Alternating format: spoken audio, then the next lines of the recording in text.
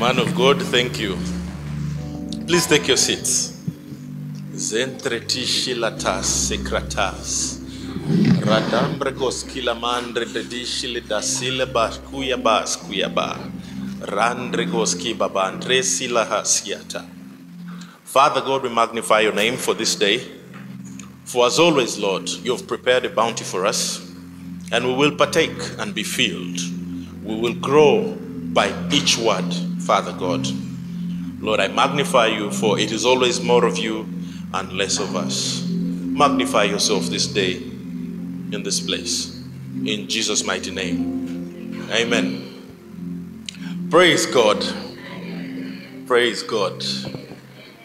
Like I said, there is no day, there is no day we have preached and there is no new face. But the question I always ask is, where do they go afterwards? All together. We, we thank God for parenthood, natural parents, that once you're born, you're stuck with them forever. But here, the new faces come, they collect, they go. They are whipped, they come back, collect, they go. They are whipped, they come back, they collect, they go. They are whipped and whipped and whipped, then they have no more strength to return. But grace be unto them. For the portion that they take, it will not be removed from them. What you have been taught, what has been implanted in you, usually will keep you. Remember, like David? He encouraged himself, not because someone was there present to minister to him, but simply that what he had already been founded upon sustained him wherever he was. Praise the living God. Or we talk about the, the, the, the son that squandered, the prodigal. The word prodigal is to squander, to waste. The prodigal son. We thank God that however much you waste God, in quotes, he can never get finished.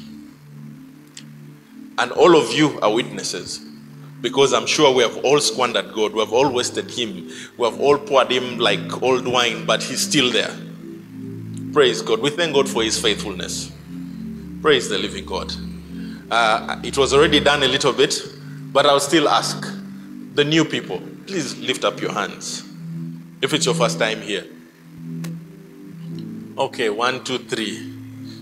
There's somebody who looks new, but I see a person in red. I don't know if you're new. It's not your first time. I think the style is new. we bless the living God. Okay, thank you for visiting us. And uh, as you visit, you're welcome to stay also. There's a decree that I will continue from there.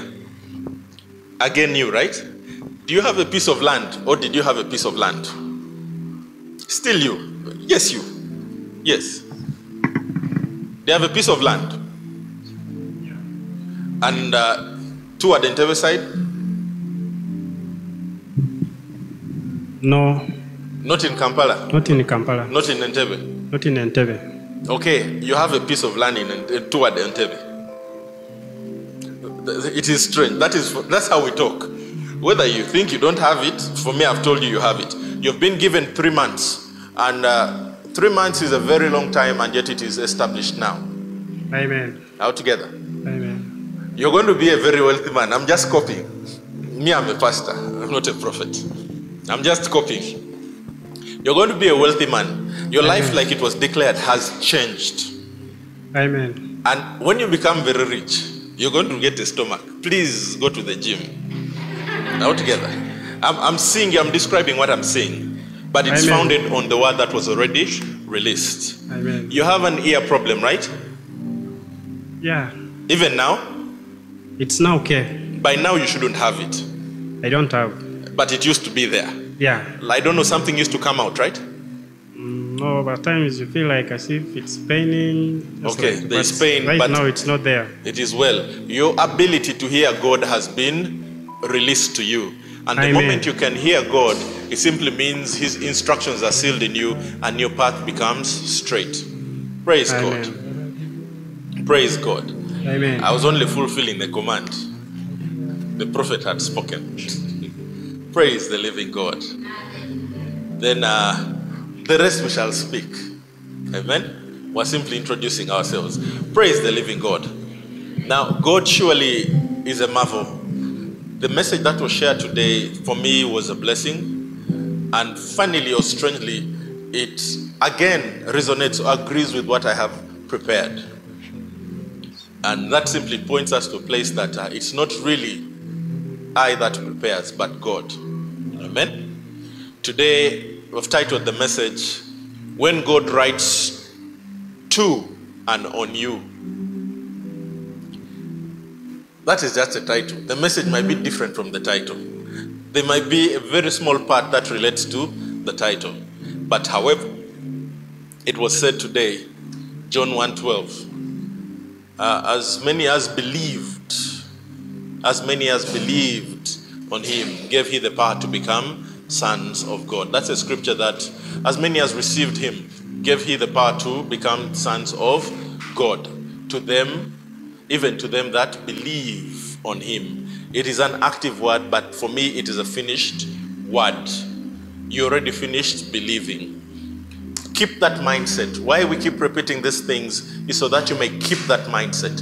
Keep that mindset that you already finished believing. You don't go to a doctor and then they start opening their book that they studied in second year that ha this disease we have to handle it like this. No they already finished the process. So they're now applying themselves. And today you're called to apply yourself. Praise the living god. When god writes to you and when god writes on you we're going to share things that are common. The word write in this case i can use the word speaks to you. Because god speaks. God has written to all of you right you have a book, you, have, you call it the scriptures. God has written to all of us. But I don't know if there is a day that you think that this is actually a letter to me. We have a letter, they call Corinthians, Galatians, you name them, to Timothy, Philemon, whoever, whoever. But have you ever considered that God has actually written to you? It is obvious He has written to, to us, right? But have you ever really thought about it that this is a letter from God? And we're busy crying, Father God, you're quiet, talk to me, let send me to somebody to tell me one thing. And yet he has a whole canonized book for you. He has actually written to you. Praise the living God. I'm going to pick scriptures to introduce the subject that we already know, but they reaffirm our belief. Amen. Praise the living God. Second Peter chapter 1, verse 19 and 20. I'll read quickly. We have also a more sure word of prophecy, whereunto you do well that ye take heed. You do well to listen, to hear these words that of prophecy that are given to you. As unto the light that shines in a dark place until the day dawn and the day star arise in your hearts. The prophetic language, the words inspired of God through a man that are actually written down. It's a sure word, but they're written to you so that the light shines whether in the night, whether in the day, but it shines in your heart. So the word, the words written to you or the speech from God is not for any other thing but to establish your heart on God. So that you can have the confidence to say, I finished believing because God already spoke. We have said many times, no more is it a promise. You're now div- div- partakers of divine nature. Praise God. Verse 20. That is 2 Peter 1 19 to 21. For the prophecy came not in all times by the will of man, but holy men of God spoke as they were moved by the Holy Ghost. So today, take no word lightly. God is speaking to you, but I'm preferring to use the word writing to you because the sure word of prophecy is actually documented. Amen? So let us not look at the Bible as just another storybook. These are inspired words written to you, not to me alone, to you. Personalize God, own God. I think it was said today. Own God. Own God. And then these words will arise in your heart. That when you speak, you will speak with the boldness of God without fear. Praise God. Second Timothy chapter 3, verse 16 and 17. I'm simply introducing the subject.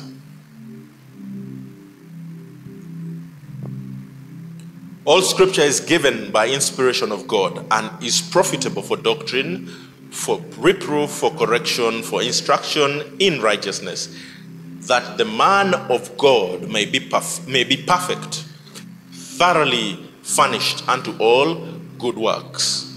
And today, I would like to remove the word of the, the, the word man of God, so that all of us may be thoroughly furnished and present good works. We already said that uh, good works without God, outside God, are dead works. However good they seem in the sight of men. But what is the foundation? It is the scriptures. The scripture is a script, it is written to you. God writes to you, but also God writes on you. Praise God. Psalm 45 1 and 2. Well, simply, these are scriptures you can use for prayer.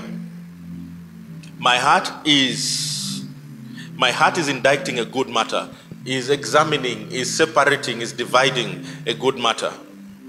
I speak of the things which I have made touching the king. My tongue is a pen of a ready writer. Thou art fairer than the children of men. Grace is poured into my lips, into thy lips. Therefore, God has blessed thee forever. So today, your tongue is a pen of a ready writer. All together. God has poured into your lips and He has blessed you forever. You remember Isaiah in uh, Isaiah chapter 6, I think verse 5, 6, 7, 8, somewhere there. I will read it along the way. The, the angel, the seraphim, took of the coals of fire from the throne of God and touched his lips, and he was made holy. There are two kinds of holy. There's holy where you're separated for God, but there's holy where you just keep sanctification, where you do it every day. Every day you're improving every day. But in this case, he was made holy, was separated. The man was prophesying, but when that happened, he was he cried out that I am undone. I'm a man of unclean lips. I live in a community of people with unclean lips. And then God touched him. Then he became pure. And God here saying he has blessed you forever. So today, the Lord is saying that your tongue, your lips, your mouth is a pen of a ready writer. How the mouth and the pen work together, I don't know. But basically, the word of God is a record. Amen. The words that I speak, they are spirit and they are life. You can replace the word words with things. The things that I speak, they are spirit and life. So every time you speak, it is a thing. You speak, it is a thing. You speak, it is a thing.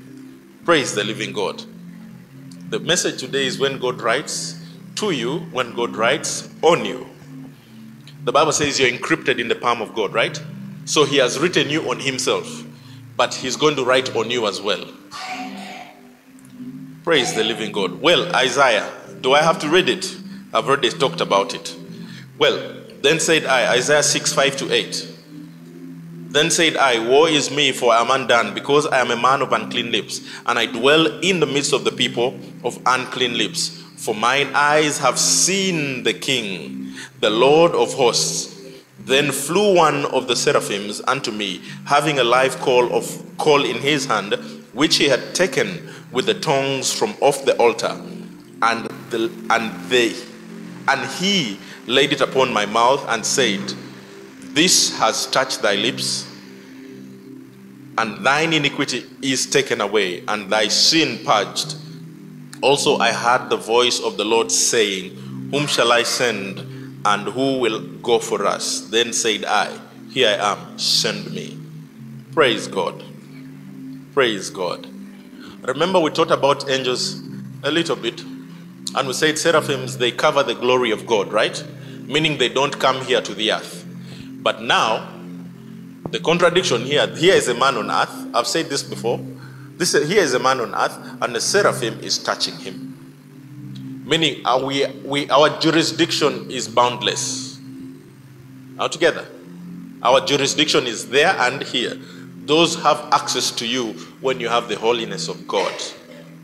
And once we have said your lips are, are, are like a pen of a ready writer.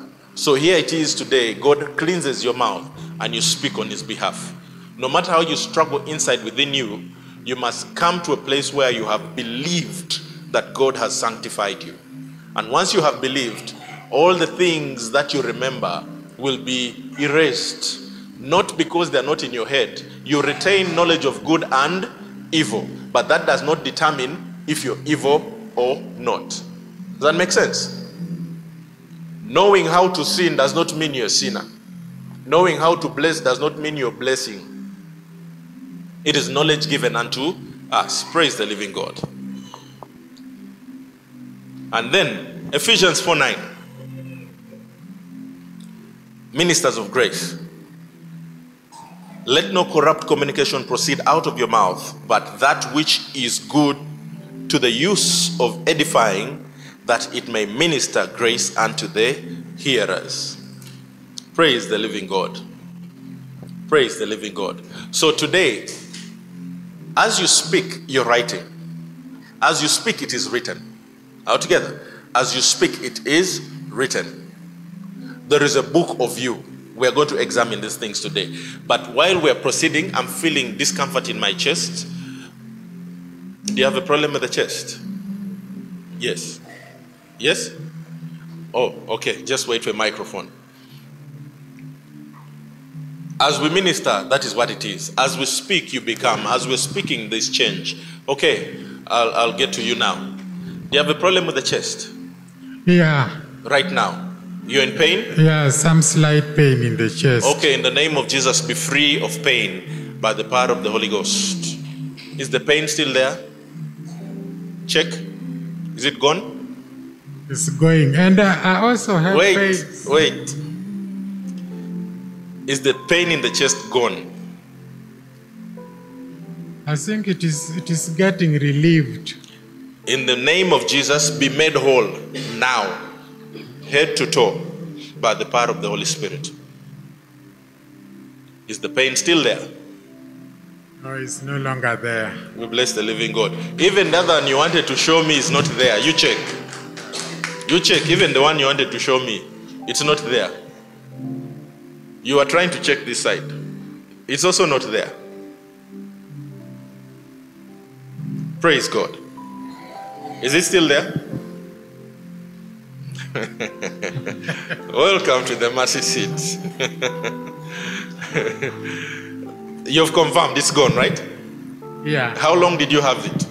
No, it's, it has been there for many months. Many months. Yeah. Okay, now this confirms you the scripture we just read that uh, let no corrupt communication proceed out of your mouth, but that which is good to the use of edifying, that it may minister grace unto the hearer. I've shared the word of God, and grace has been imparted unto you, and thereby your healing has come.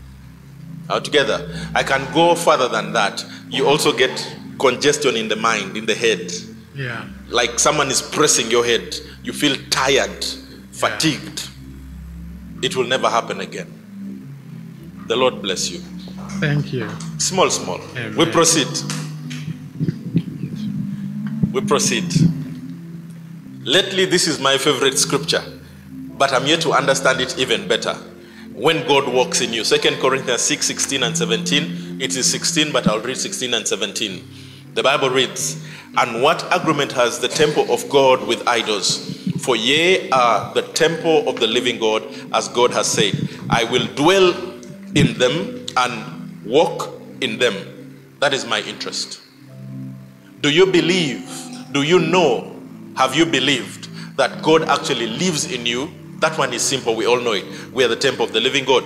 Do you actually believe or know that He walks in you? Every step you take, it is God moving. That every door you face must be open because God is working. You need to allow that word to sink in your system that when you approach, whether be it your boss, be it anybody, be it a closed door, it will open by default. We have these doors with motion sensors, right? The moment you appear, it opens. The first time I found a door like that, it was at a bank. I'm not ashamed to tell you. I reached the, the I, I stepped, the door opens. I'm like, ha! I swear, not me. I hesitate. Then somebody crosses. One, I'm like, maybe this one has survived. The next, the third one, I also enter. Very bold. Nobody knew my problem. My problem was I'm from Kumi. Praise the living God. All together. So today, many of us are like that Bob who has found an open door and is scared to enjoy the grace. All together?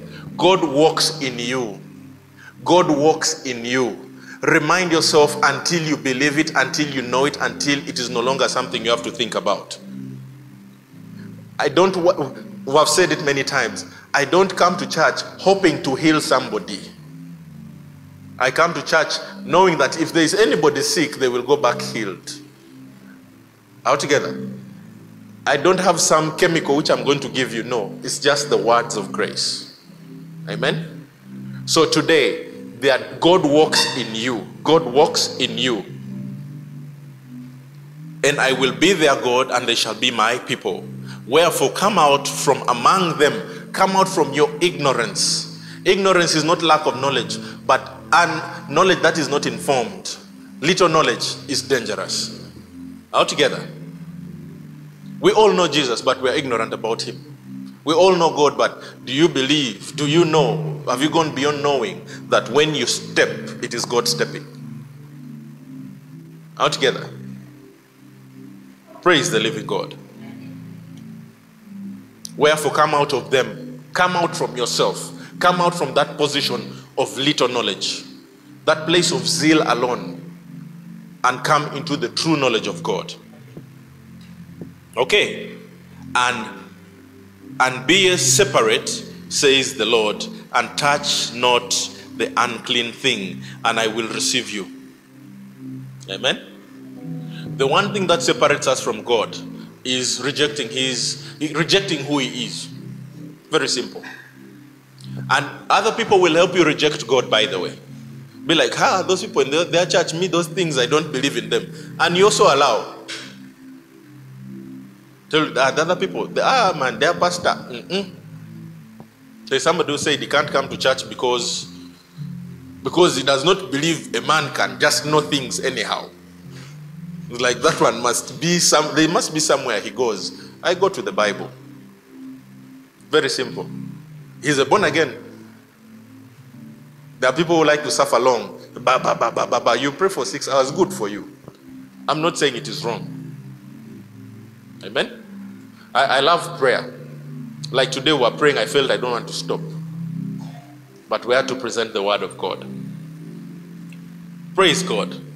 We continue. Second Corinthians 7 1. After that, that was the last scripture. The Bible reads, Having therefore these promise, promises, dearly beloved, let us cleanse ourselves from all filthiness of the flesh and spirit, perfecting holiness in the fear of God. For me, the fear of God is embracing His word. It's reverential fear. And you have the power to perfect yourself. For example, Isaiah was prophesying, but he had not met God. Then an angel meets him, cleanses him, and lifts him to another level. And then he's ready to be sent by God. So some people actually right to fear the prophetic because some people are prophesying and they're not sent. Amen? Praise the living God. Until you've met God, how do you meet God? He has written to you. He's written a letter. But we're saying, "Ah, first put the letter aside. We want to praise God the way we know. We want to worship God the way we know. We want to serve God the way we know. Praise the living God. Either you're moving too much or there is an angel behind me. I'm not sure. We are going to find out. There's going to be a distinction. And when the distinction, distinction is obvious, we are going to find out if it is you or the angel. Praise God. This one I got it from Musumba Laura, but she doesn't know how. But she will know how when I read it. Isaiah 3:10. Isn't that your scripture? Isaiah 3:10. Tell the righteous it will be well with them, for they will enjoy the fruit of their deeds. How many of you are, get angry with me when I say it is well? Put up your hands. No one. eh? Eh, it is a scripture. So you're angry at the scripture, not me. Tell the righteous that it is well. The, the more concrete story is in uh, with the Shunammite woman. But the Lord has dictated, tell the righteous that it is well. But now the way you perceive and receive the word, it is well, is your problem. Like, but only it is well. He did not do like this. Yeah. It is well. The word of God is sure. The word of God is power. Once it is spoken, you don't have to feel goosebumps. Gone are the days when I used to feel if I pray for you and you don't fall, then God does not work. No. Did I touch him? Did he fall? Did he what? Now together. That simply means you have you've reached a place where you've apprehended, you've arrested the word of God that at your speech grace is distributed. Praise the living God. And these things are not for a select few, it is for whoever chooses to believe. Whoever chooses to go beyond just belief. You become one and the same with what you know. To dream, okay, to dream about driving a Mercedes Benz is one. To wake up and walk to a bond to look at one is two. To sit in it and drive away is three. To be able to give it away is four. There is also five. Choose which one you want. By the time you can give it away, it means you can get many of them. It's no longer an issue. You and the Mercedes have become one. And thereby you'll have joined the Mercedes nation. Praise the living God. That one is not a scripture. but because I've said it, it is as good as scripture. Praise the living God. Today morning I was asked a question. I don't remember the question. Oh, something about natural resources. My kid, they got up early. They were banned from coming to church for today. They misbehaved. What do we? Is it? What do we use to get something about natural resources? Then she gave me four, four different answers, but she was asking me. Then I laughed and said, "But you, you've asked the question and you've given me the answer." Then she's like, Oh, yes. Then she writes her answer. Praise God. Many of us ask the question, know the answer, but do not write the correct answer. Because we are waiting for someone to confirm what we already know. Imagine Abraham, Abraham, let's call him Abraham, Genesis 12, when he's told to leave his kindred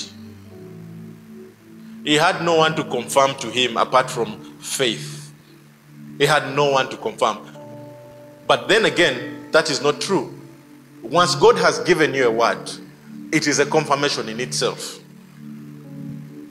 Altogether, it's a decree, it is law, it's established and it cannot fail. So we are called to move away from zeal alone and walk in knowledge. And thereby we shall take informed decisions. Praise the living God.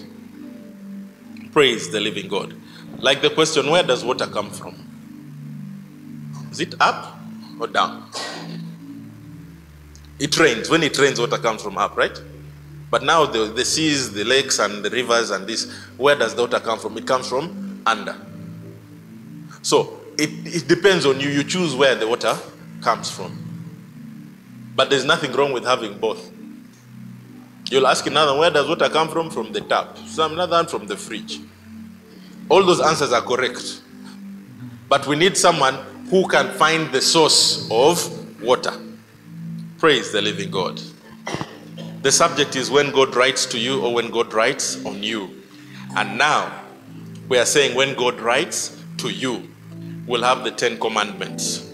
Give me Deuteronomy chapter 9, verse 1 to 14. My God. Today you're going to press yourselves. We're going to read. Deuteronomy 9, 1 to 14. We're going to work a bit quickly. Hear, O Israel, thou art pass, thou art to pass over Jordan this day to go in to possess nations greater than greater and mightier than thyself, cities great and and fenced up to heaven Heaven is not where God is, up to a high place. A people, great and tall, the children of Anakim, whom thou knowest, and of whom thou hast heard say, Who can stand before the children of Anak? These are great people, right? Understand there of this day that the Lord thy God is we is he which goes over before thee as a consuming fire. He shall destroy them, and he shall bring them down before thy faces, so that so so shalt thou drive them out and destroy them quickly, as the Lord has said unto thee. Just hold it there. So we are clearly seeing that the Lord, let me call this a writing. The Lord has written to you, and He has given you a guide. He has told you what is going to happen, but it's upon you to believe this word. Altogether, the Lord has already sent His word. He has instructed you and made provision for you. The question is, will you and that word become one? Altogether. Verse 4. Speak not thou in thine heart. That is where God touches you. After that, the Lord thy God has cast, down, cast them out from before thee, saying, For my righteousness the Lord has brought me in to possess this land, not for your righteousness. The Lord has done it because He's God. But many times when we achieve, when we succeed in this life, we start to feel like we achieved these things. We did the, the things of our own volition, our own strength. But God is saying, It is because I wrote to you, because I spoke to you, because I wrote in you. Amen. Or I have written. Praise God. But for the wickedness, no, no, no, no. But for the wickedness of these nations, the Lord does drive them out from before you. So, first, I would say for the righteousness of God, He preserves and provides for you. But also those that are wicked before you, He will drive them out. But guess what? All this is based on the promise that you will go into the promised land and you shall possess it. Whether they be giants or things or whatever it is, God has bequeathed this thing to you that no matter what you'll find there, however big, it will give way, it will make room for you. Praise God. Not for thy righteousness or for the upright uprightnesses of thine heart. Yes, your heart may be good, but God is saying it's not because of that. Does does thou go to possess their land? Not for that, not because of your heart do you go to possess their land, but for the wickedness of these nations, the Lord thy God does drive them out from before thee, and that he may perform the word which they perform the word which which the Lord sware unto thy father Abraham, Isaac, and Jacob. Hold it. Now he's saying for the wickedness of these people, but then again he's saying it is because he made the promise. He that promised is also faithful to fulfill it. Amen. So it is because he promised. And now that God promised unto you, he has written it down to you, right? Have you allowed this letter to be your letter? Have you allowed this letter to be life unto you? Have you allowed this letter to be a land, a fruitful land, filled running with, with, with milk, filled with honey? Have you allowed it to become yours? It is already bequeathed and spoken to you. Like you can have an inheritance. Maybe your father, mother left you 10 million dollars in an account and you don't know it exists. You will never get that money. But it is yours. Amen. But if you have a wicked uncle who knows where it is, we continue. Praise the living God. Understand therefore that the Lord thy God giveth thee not this good land to possess possess it for the right for thy righteousness, for thou art a stiff-necked people. So God is recognizing that you have rejected his word, you've rejected his promises, you've refused, you're stubborn, you're this and that. But he's saying because he promised, he fulfills his own word. He's still giving it to you. And he's saying, Arise and enjoy the goodness of my word. Altogether, even with your hard heads, he's saying, I still love you and I've still provided for you. Will you receive the writings of God? Amen. Praise God. Remember and forget not how thou provoked the Lord thy God to wrath in the wilderness from the day that thou did depart out of the land of Egypt until you came you came unto this place ye have been rebellious against the Lord. So for me this really highlights the love of God toward us. Even now we are stubborn, but God is saying, I, I, I still love you. I will fulfill my word because I'm a promise keeper. I'll fulfill my word because I still love you. I'll fulfill my word because there's a seed of me in you. I'll fulfill my word because I walk in you, I live in you. Even then, even when you walked away, I killed my son because I love you. I thought he loves Jesus more than you. I've always wondered between you and Jesus, who did God love more? Yeah? You're sure he loves you more than Jesus, right? If I was Jesus, I'd be jealous. How would you kill me for guys who are stubborn? You'd rather kill them for me, who is good. Yeah? And on top of that, those stubborn people, you decide to give them inheritance equal to me. I'm the one who has suffered, but they are equal to me. Did you know you're equal to Jesus? Do you really believe you're equal to Jesus? Yeah? Do you really, really believe you're equal to Jesus? The Bible says, Jesus, he thought it not evil to be equal to God, but he humbled himself, right? And then you and him, you're now co-heirs. You're now co-heirs of the kingdom. You're co-heirs. 100%, 100%. If I was Jesus, I would be annoyed. They bring you here, I'll kick you. Be like, you know what I went through? For you, just there doing your own things, and now you have the full benefit of my pain. And that is what it is. Do you believe you're exactly Jesus? If you believe the written word, then it is true. Then you should have no problem believing it, right? And guess what? God has loved you even more than him that he has said that uh, greater things than these shall you do. He's saying you you're, you're called to do greater than what Jesus has done. But today, show us your works. And now for him, he lived only 33 years, right? For you, it is promised unto you 120 years, right? Isn't God fair. In quotes. Praise the living God. Praise the living God. Haven't you taken away my scripture? Take me back. Okay, against the Lord. Give me eight, yes. Also in Horeb, ye provoked the Lord to wrath, so that the Lord was angry with you to have destroyed you. God could have destroyed us. But here we're talking about, about the Israelites. But today, even you, you're not any different from them. Sometimes it feels like we're better than them, but no. Like me, how, how does God redeem me from Egypt? How do I see the Red Sea part dividing and then I rebel against God? People, there are many good things God has done for you, but you still rebel. You even repent before you get into the thing.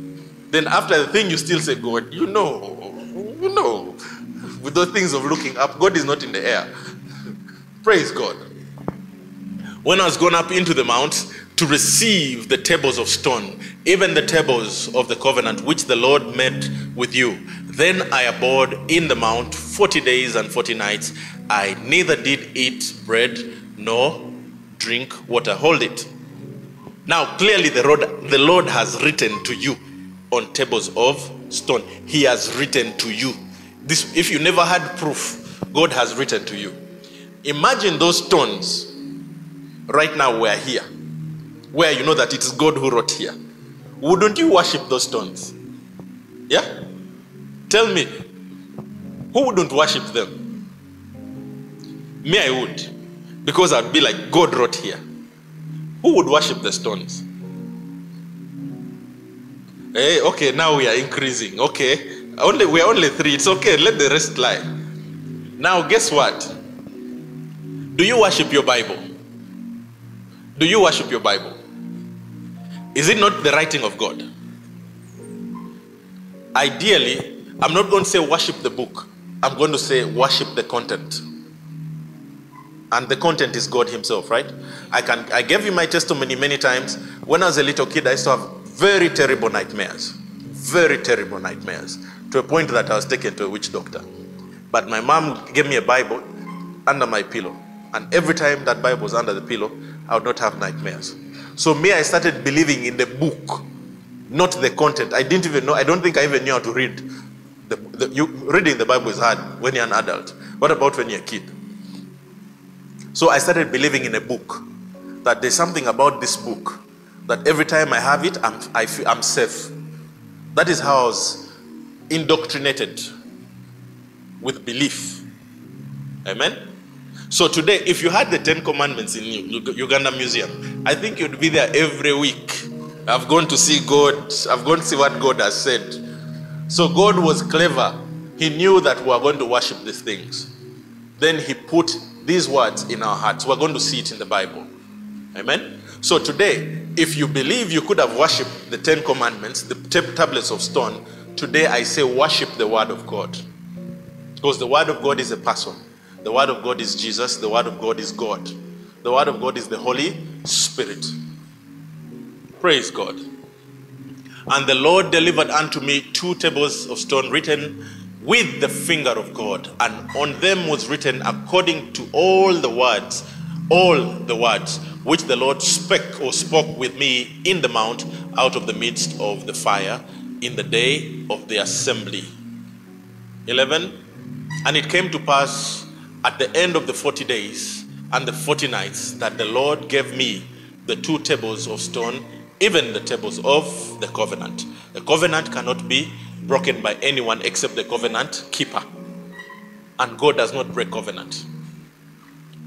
12 And the Lord said unto me, Arise, get thee down quickly from the hence, for thy people, which thou, remember the Lord is now denying them because they are in sin, which thou hast brought forth out of Egypt, as though Moses did it, it was God. Out of Egypt have corrupted themselves. They are quickly turned aside out of the way which I commanded them. They have made them an, a molten image. 13 Furthermore, the Lord spake unto me, saying, I have seen these people, and behold, it is a stiff necked people. Let me alone, that I may destroy them and blot out their name out of under heaven. And I will make of thee a nation mightier and greater than they. That is it. Now imagine the deal God has given Moses, right? It's like these people just leave me alone and I go and destroy. It's like God needs permission from Moses to destroy these people. Leave me alone, I go and destroy these guys, and uh, and also blot them out of that book altogether. And God gives Moses a deal that if you allow me to go and destroy these people, I will make you a great nation and mightier than and greater than these people. I will take that deal. Now, me, me, Bob, eh? I would take the deal. I'll be like, those guys, clear them. After all, you've said I'm going to be great and mightier than them. Isn't that a better deal? But as you read on, you're going to find that Moses told God, no. No. Blot my name out of this book of life. But these guys, leave them alone. If you have a shepherd who can give hand you over, you're finished. Altogether. If you have a shepherd who can hand you over, you are finished. So also know your shepherd. Amen. Praise God. The one you have only tells you it is well and be like, ah, ah. There's somebody whose left thigh is hurting. I don't know if it's still hurting. The moment I touched, the pain left. I don't know if I should dwell on that one. Praise the living God. So here we're simply highlighting, we're trying to find out, much as you already know it, that God actually did physically, I don't know if it's physically or spiritually, He, he wrote to you a physical writing. I would use the word document, but it was a stone. He gave you a physical writing. And one of the reasons that writing you cannot access today, today, I'm sure you would worship that writing. Amen? You would worship that writing. And then the writing God gave you was a commandment, was a law. And that law came to keep you alert about, about your sin, about your guilt. It reminded you about the guilt that you carry. And uh, when you're carrying guilt, it is impossible to actually serve God or rightly serve God. You may serve the people who come to church like me, I'll sit behind because I'm not worthy to sit in front. There is no difference between there and here. Is someone guilty about that? Sometimes like me, uh, because of my life, the things I do in secret, uh, I, I will not be a minister. I will only be, I will only help with carrying the chairs. You, you're serving God, but your heart is not you, you, you, you're, guilty, so you cannot fully fellowship with the, with the Lord. And yet the Lord is saying, Those things may I don't remember, come and serve me. I'm the one that cleanses you, prepares you, and releases you into ministry. Praise God. if you look at the Bible as a rule book, you will never be able to worship God. Religion. Now together. Many born agains are religious born agains. We are quick to condemn, we are quick to judge, not only other people, but even ourselves. And like I've given you an example, you come to church and we tell you, come and uh, maybe come and do intercession. Because of the other thing, you of maybe five years ago, you feel you're not worthy. Like me, I'll only carry chairs. And for us, we're happy that you're serving. But there's a greater call on your life, and your service is not to man, or man of God, oh the church. Your service is actually to God. So you're refusing to lead intercession, and yet God says, I want to speak to my people. I want to write to my people through your mouth, which I have sanctified. And we're saying, ah, uh for me, I'm only good enough to carry chairs. Praise God. I'm also guilty of that. For me, ministry just started. I never had the opportunity to to carry chairs, to be an usher, to be what. For me, suddenly I joined the church. Boom, you're now a minister of intercession. I felt that made a mistake. I went, I told the man of God, said, receive the spirit of prayer. I started praying for people. Altogether. But I felt like they have put me in a position where I shouldn't be here. This is too big for me. Because I knew I didn't know. So I was arguing with myself. So as you pray for people, and those days, he's my witness. The moment I touch you, you will fly. Nowadays, I don't have power. those days, even as we wanted to demonstrate power, it is the only thing we knew.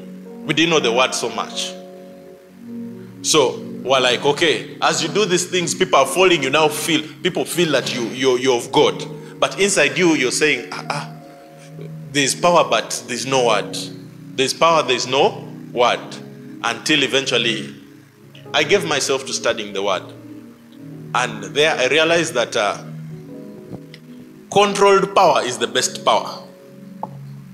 Altogether, if they send Umeme to your house and the wires are naked and this that you're going to have a hazard waiting to, to happen.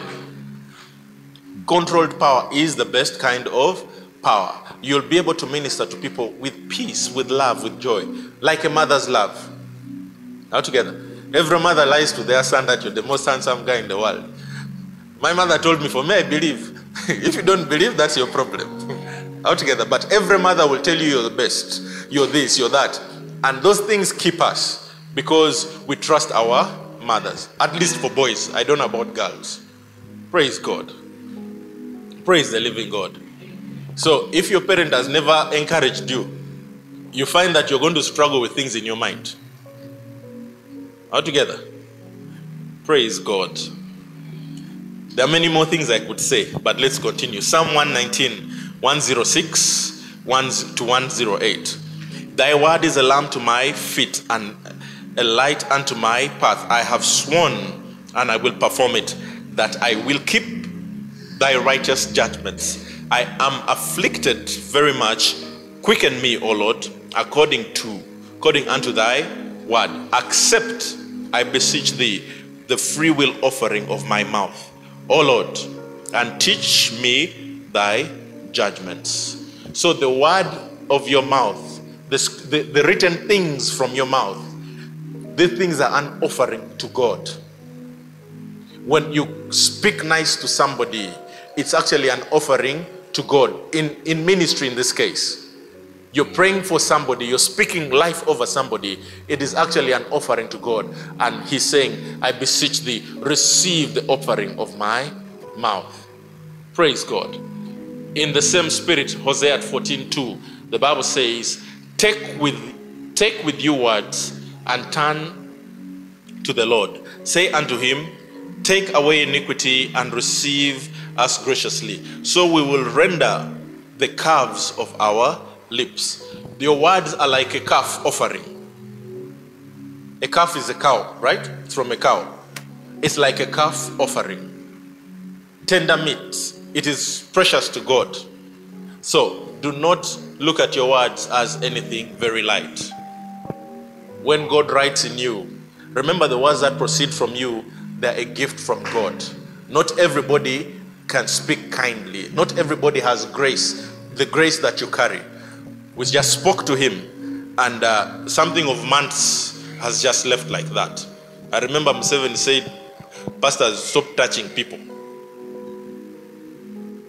It's in agreement with the scriptures. The Bible says, lay hands not suddenly on, on people. For when you touch some, there's an exchange. If the grace in you is not enough, you will receive the problem and they take grace. But the only way you can have enough grace, well, there's no such thing as enough grace. It is grace in abundance, right? Greater grace, great grace. The only way you can have grace is by having the word of God in you. The word of your mouth must have life. Amen. So you may come and say, I want more grace. We'll say, receive. But uh, without the scripture, there is nowhere it's going to land. Praise God. Praise God. Then some writings are unacceptable. In other some words are not acceptable. Psalm 19 13 to 14. Keep back my servant also from presumptuous sin. Psalm 19 13 to 14. Psalm 19 13 to 14. Keep back thy servant also from presumptuous sin. Let them not have dominion over me. Then shall I be upright, and I shall be innocent from the great transgression. Let the words of my mouth, let the words of my mouth and the meditations of my heart. Words come from the heart. Words come from the heart. The meditations of my heart be acceptable in thy sight. O Lord, my strength and my redeemer. So some words are not acceptable. So you may have to petition God that everything about you blesses people, is acceptable in his sight. And the more you bless people, the more you are blessed. Praise the living God. Okay. Words, unacceptable words. Speak to the rock. You remember that? Moses was told to speak to the rock. Numbers 20. Is it 20 or 12? I remember. No, 12 is about Aaron and the prophets. Aaron, Miriam. Okay, Numbers 20. Verse 7 to 13. I'm reading from here, I'm reading a little faster. Because today is, it, it is, it's a very long teaching, I think. And the Lord spake unto Moses, saying, Take the rod and gather thou the assembly together, thou and Aaron thy brother, and speak ye unto the rock before their eyes. So God has given an instruction. God has spoken. God has written his word to Moses. And it, he has written it on him and he's telling him, Speak to the rock. Many of us have the instruction, right? Who have said the book is that manual for life. Right believing, right living. It was said earlier on. The book is the manual for life. And here it is.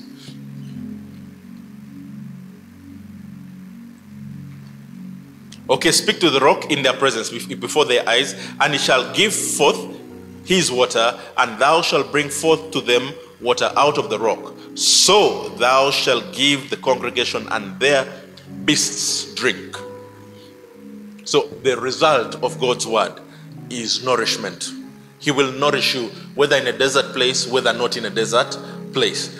But it all comes from that instruction that has come out of someone's mouth.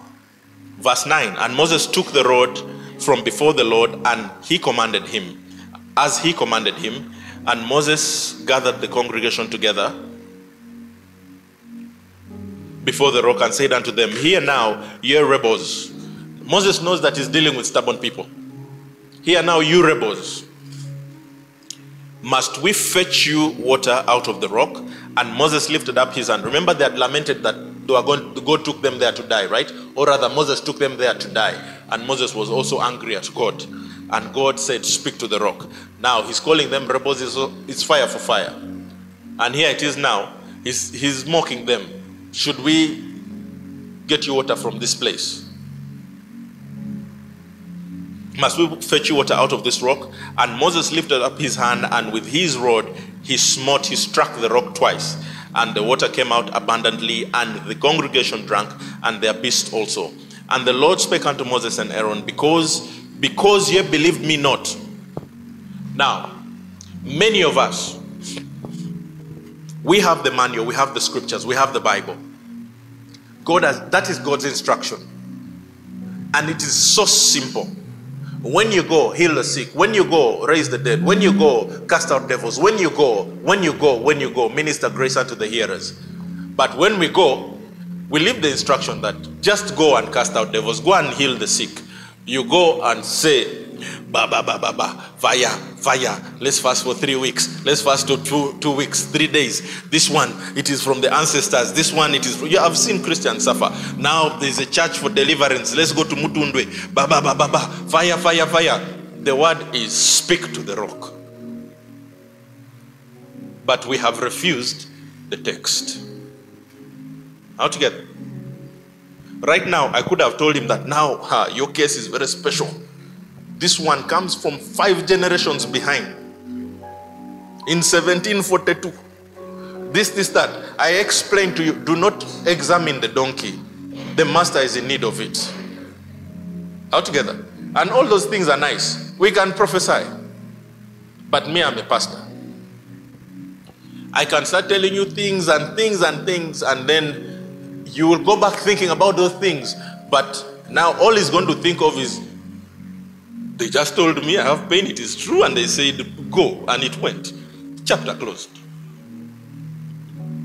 Jesus, the Bible never says go and pray for the sick. Okay. Uh, is anyone sick among you? Let them call for the elders that they may come, anoint him with oil, and then the prayer of faith shall heal the sick. That is the only part that I easily find. If there are more, it is still okay. There's nothing wrong with praying over people, but I'm saying there is a better way. Just go and dictate. All together. I've never given this testimony here. There's a time somebody within the family was not well. So they called, hey, call the man of God, call this, that, that, that, that, that, that. By then I was still working. I drove quickly. To reach there, I snapped my finger. The problem of I don't know how many days just left. I got disappointed. I got angry at God. I'm like, God, you made me drive all the way from there to here to snap a finger and go back. Out together. Not knowing God was teaching me that slavery is your problem. You want to be a slave, you want to be physically present. Many of you, Papa, appointment, appointment. I'm like, can't we finish on phone? Ah, Papa, this one is big.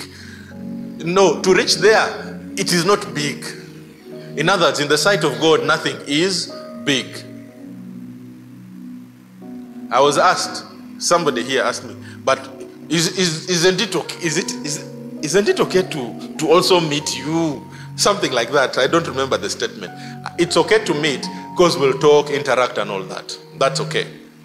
But if you're bringing sickness, that one is that simple. But if it's to interact and share knowledge, that is also okay. There's nothing wrong with the meeting. But I'm saying, can you look at these things as small things? Isn't it Isaiah that says that you will look upon this thing called the devil and say, Is this the thing that tortured kings, right? Why do we magnify the devil? Because we have refused to follow the instruction of God. He has said, Speak to the rock. But because we are angry at the people he's even sending us to, we want to strike the rock. Amen? Praise God. Where were we? okay, verse 12. And the Lord spake unto Moses and Aaron because they believed not to sanctify me in they believe not to sanctify me in the eyes of the children of Israel. Now, God is saying these people have been given instructions, they have been given lips to speak, but they are not magnifying God by following, executing God's instruction. They have come to do their own things. And many times we ministers are the ones who cause you to believe wrongly. By telling you now, we this one needs prayer overnight. Sometimes I used to think that maybe I'm the one who is a lazy minister. Because for us, we have no overnight, we have no prayer mountain, we have no what. We only come here. We pray for how long? 15. 15 minutes. And even those 15 minutes, we have to beg you to come and we pray. All together. I'm not complaining. It's the grace you've been given. It's the grace you have been given where things are easy. And with, we thank God it's just going to get easier and easier. Because as we grow, it's just getting better. Now together. But as it gets easier, there's a contradiction. You might feel, but this one is too simple. Mm-mm, I think it is not God. I need to suffer a bit. No. Jesus is the one who suffered. Well, you can call scripture that says, uh, count, do, do not is it what diverse temptations and this, that, and sufferings, and this, that suffering and ministry move together. That is also true. What kind of suffering are we talking about? Travailing for the gospel is not this physical suffering. You should be rich, even if you suffer. The suffering we are talking about, you may drive to Karamoja and have a crusade and there is no food. That is suffering. You have to drive back maybe to Soroti and eat. All together. That is the suffering we're talking about. For the gospel, if you're suffering for because of poverty, that is not the suffering of the Bible. All together. The good thing I'm reading the Bible, so you can't say I'm, I'm twisting things. Refuse. For you, you've been given a word, you're a very wealthy man. If you believe it, good. If you don't believe it, it is no longer our problem. For us, we have released grace, right? But in the name of Jesus, you shall not fail. Praise God. Praise God. So, today, we continue. Therefore, ye shall not bring this congregation into the land that I have given them. This is the water. Let me use this part, this one. This is the water of Meribah, because the children of Israel strove with the Lord, and he was sanctified, and he was sanctified in them. Is that the end? Yes. Now, the older generation, only two guys crossed over Caleb and, and Joshua. The rest of them, God decided, uh, even their minister. I told you last time that you can die with your minister. If you see Uncle B going wayward, please find wisdom to talk to Uncle B. All together. Otherwise, your Moses, your Aaron, your Hur, your Miriam will go with you and you'll ne- you will see, but you'll not get there. So when we say come and we pray, please come. If you want to go to prayer mountain, it's okay. You go and suffer. Even me, I used to go. I'm not saying it's wrong. I used to go those days. I think it's about level of faith. After you've reached the top of the mountain, your faith is established, you can now come back to the bottom. Some of us, the God of the valley is still our God, the God of the, the mountain is still our God. Praise the living God. So, you can have God, you can have word in your mouth, you can have grace, and yet just disobedience once in executing his instruction, then you will forfeit certain benefits. And I'm saying, be it far from you in the name of Jesus. Praise God. Now, another form. What is the title of our, our, teaching today? When God writes on you or writes in you. Another place that God wrote. Remember, He has He, he did the Ten Commandments, but there is also when He physically wrote on the wall. I'm wondering if I should read it. It is a whole chapter, Daniel chapter 5. It also has some, it has things in there.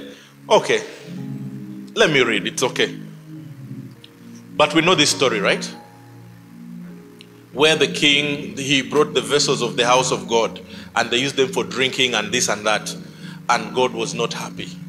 And God wrote on the wall with his finger again. I think those are the two times I see God writing on, writing on something physically. But I've told you, if those stones were around, if you knew where that wall is, you'd go there for what do you call it? These tours people do.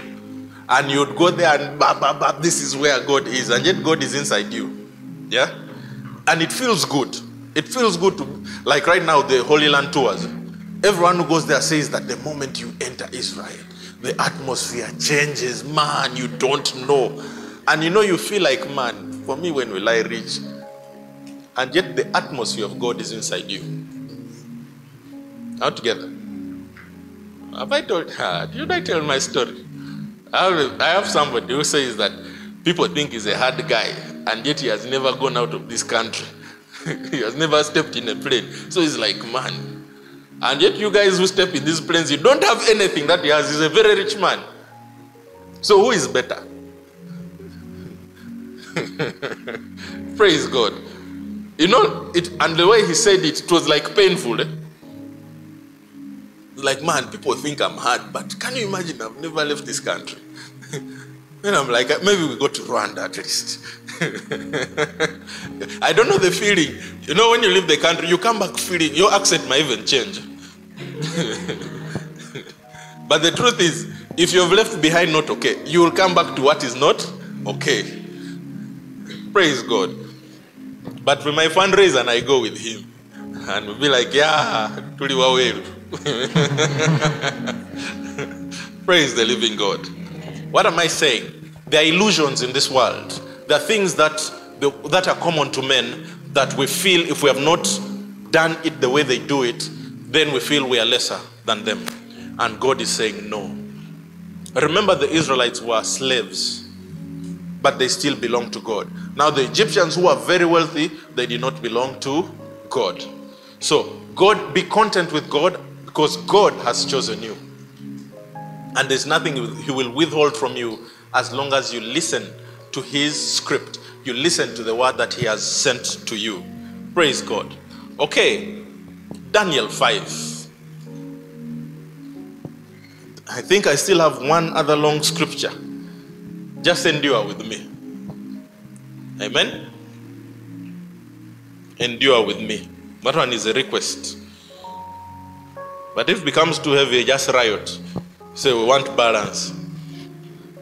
You know, like the, the artists. If they have hired you to sing, you go and sing three songs. They will stone you. But here you try. I'll just send fire. Praise God. Daniel chapter 5. Bel- Belshazzar, the king, made a great feast to a thousand of his lords. That was a real party. To a thousand of his lords, and drank wine before the thousands.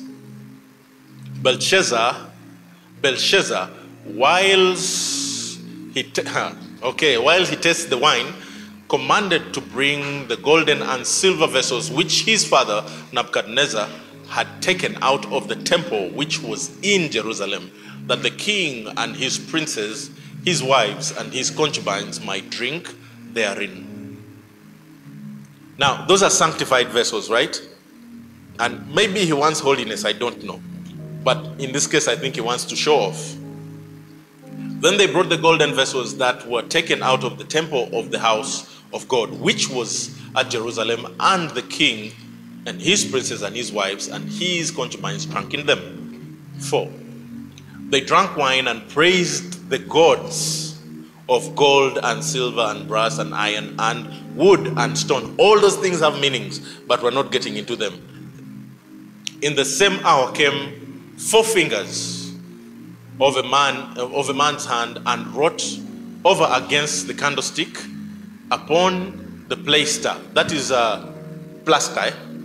To avoid misunderstanding of the wall of the king's palace, and the king saw the part of the hand that wrote. Six. Then the king, the king's countenance was changed, and his thoughts troubled him, so that the joints of his loins were loosed, and his knees smote one against another. The king cried aloud to bring in the astrologers, the Chaldeans, the soothsayers, and the king spake and said unto the wise men of Babylon, Whatsoever, whosoever shall read these writings, this writing, and show me the interpretation thereof, shall be clothed with scarlet, and have a chain of gold round about his neck, and all shall be the third ruler of the kingdom. Just hold it. So he's promising all those things have meanings, but basically, contrary glory. Scarlet is the blood of Jesus, gold, the purity of God. Altogether. And he's basically promising things that he cannot fulfill. But why is he doing that? Because of fear. He has seen something right on a wall. Altogether. Just like us when we're young, when there's no Umeme, those days was UEB. In the corridor, you start seeing like there's someone. You just start fearing. Amen? Then you move with a candle. then the wax burns you. You throw the candle and run back. Praise God. I'm telling someone's story. Haven't you skipped something? Have I read verse 7? Yeah? Okay. Verse 8. Then came in all the king's wise men, but they could not read the writing, nor make known to the king the interpretation thereof. This same thing happened to his father. Father had a dream, he forgot and called people to this and that and that. Then was the king Belshazzar greatly troubled, and his countenance was changed in him, and his lords were astonished or astonished. Now the queen, by reason of the words of the king and his lords, came into the banquet house, and the queen spake or spoke and said, O king, live forever. Let not thy thoughts trouble thee, let not thy countenance be changed.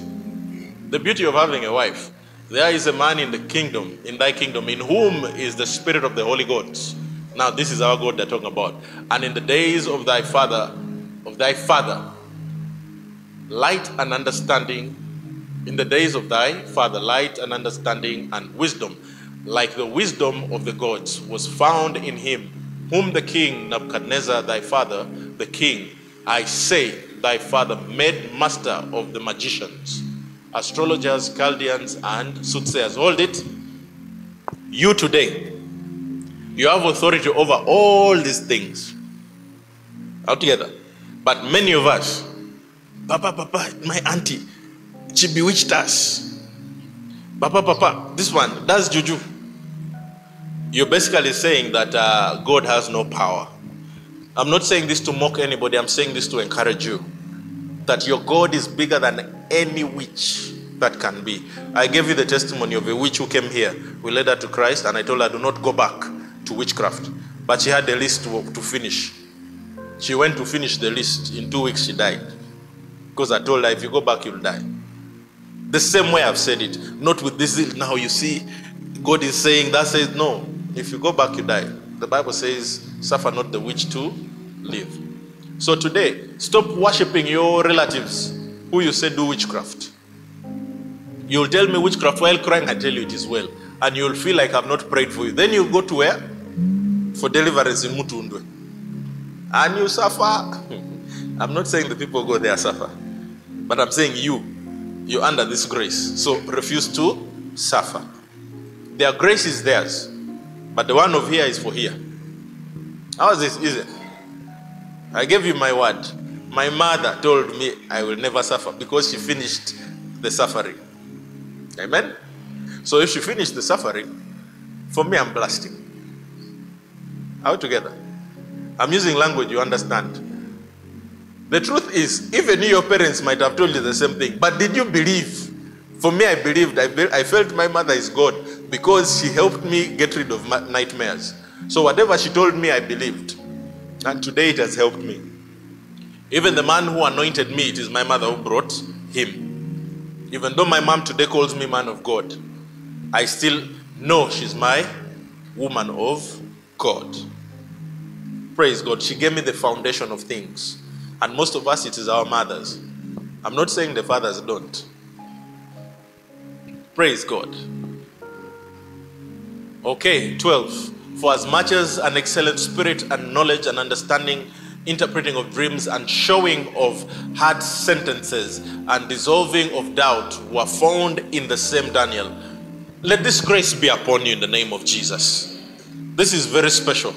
Whom the king named Belteshazzar. Now let's, let Daniel be called and he will show the interpretation. I, I speak the scripture into you in the name of Jesus.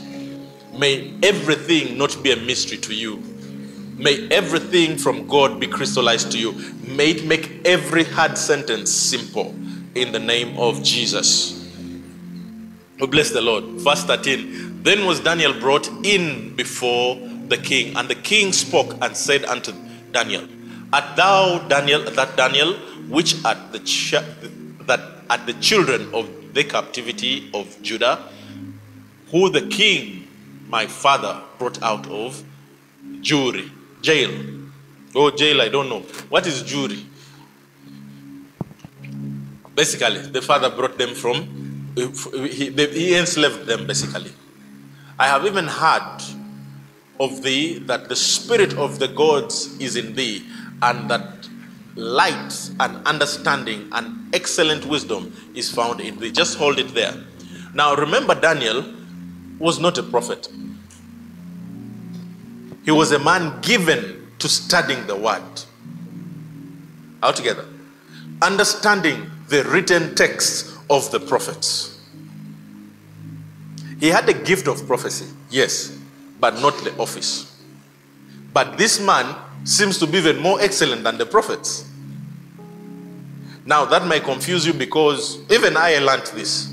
The Bible, he, he, among the major book, the, the major prophet, the five major prophetic books, Daniel is one of them. But that is not about the prophecies, it is about the size or the content altogether. So, this man was simply given to studying the prophets. Today, when God writes to you, he's studying the writings, and therein he received knowledge. He was wiser than any, even wiser than Solomon, to a point that God said to Satan, You are wiser than Daniel. Why did he not say you're wiser than Solomon? Solomon ended up in witchcraft. That is not wisdom. Altogether. So, this man made everything simple. Praise the living God. And now, and now the wise men, the astrologers have been brought in before me that they should read this writing and make known unto me the interpretation thereof. But they could not show me the interpretation of the thing. 16. And I have heard of thee that thou can make interpretations and dissolve doubt. Now, if thou can read the writing and make known unto me the interpretation thereof, thou shalt be clothed with scarlet. He's promising things he cannot give. And have a chain of gold about thy neck, and thou shalt be the third ruler in the kingdom. Praise God. So we are seeing that this man was a politician, Daniel. He, he served in politics. You can be a politician and you're actually doing it in the plan of God. Amen? Like Museveni. Praise the living God. You've laughed. Me, I've said like Museveni. 17. And today, if you find me wearing a chain, it is in the Bible. Yeah? is it not there? You find me with the chain, be like, ah, now I don't know who has deceived Uncle B. It's in the Bible. then Daniel answered and said, Before the king, let thy gifts be to thyself and give thy reward, thy rewards to another. Yet I will read the writings unto the king and make known to him the interpretation. He rejected what the king offered because it was not his to give. Like today, I've told you I've been through this. The people who have offered me money to go and prophesy to them, or I don't know, whatever reason they called me.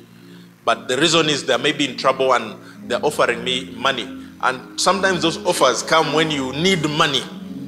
But I was, I'm like, no, I will not sell the gift of God because the consequence is heavy. Altogether, the consequence is heavy. The testimony of my mother, again, is the one that guides me. She did not have much, did not have much, but I'm a product of her words. Altogether. If she had compromised, maybe I would not be here. So my job is also try and do my best, not to compromise. 18. O thou king, the king, the most high God gave Nebuchadnezzar thy father a kingdom and majesty and glory and honor. And for the majesty that he gave him, all he gave him all people, nations, and, and languages trembled and feared before him, whom he would him, whom he would, he slew, and whom he would, he kept alive, and whom he would, he set up, and whom he would, he put down. The man had power. But when this, when his heart was lifted up and his mind hardened in pride, he was deposed from the kingly throne, and that and they took his glory from him. Is that clear? The man had extreme power, but pride caused God to bring him back to level, back to the ground, to a point that he was he for seven years he ate grass like an like a wild animal. So God is God. And those things, for some reason, he doesn't do them to the ones he loves. But then why did he establish Nebuchadnezzar? Nebuchadnezzar was a king by God's purpose, by God's will. It was prophesied to the other kings who were being funny. And they said to actually Hezekiah that these guys are going to come and do this and that and that. But let's continue. Where are we? 21. I'm looking for verse 20. Let's finish this.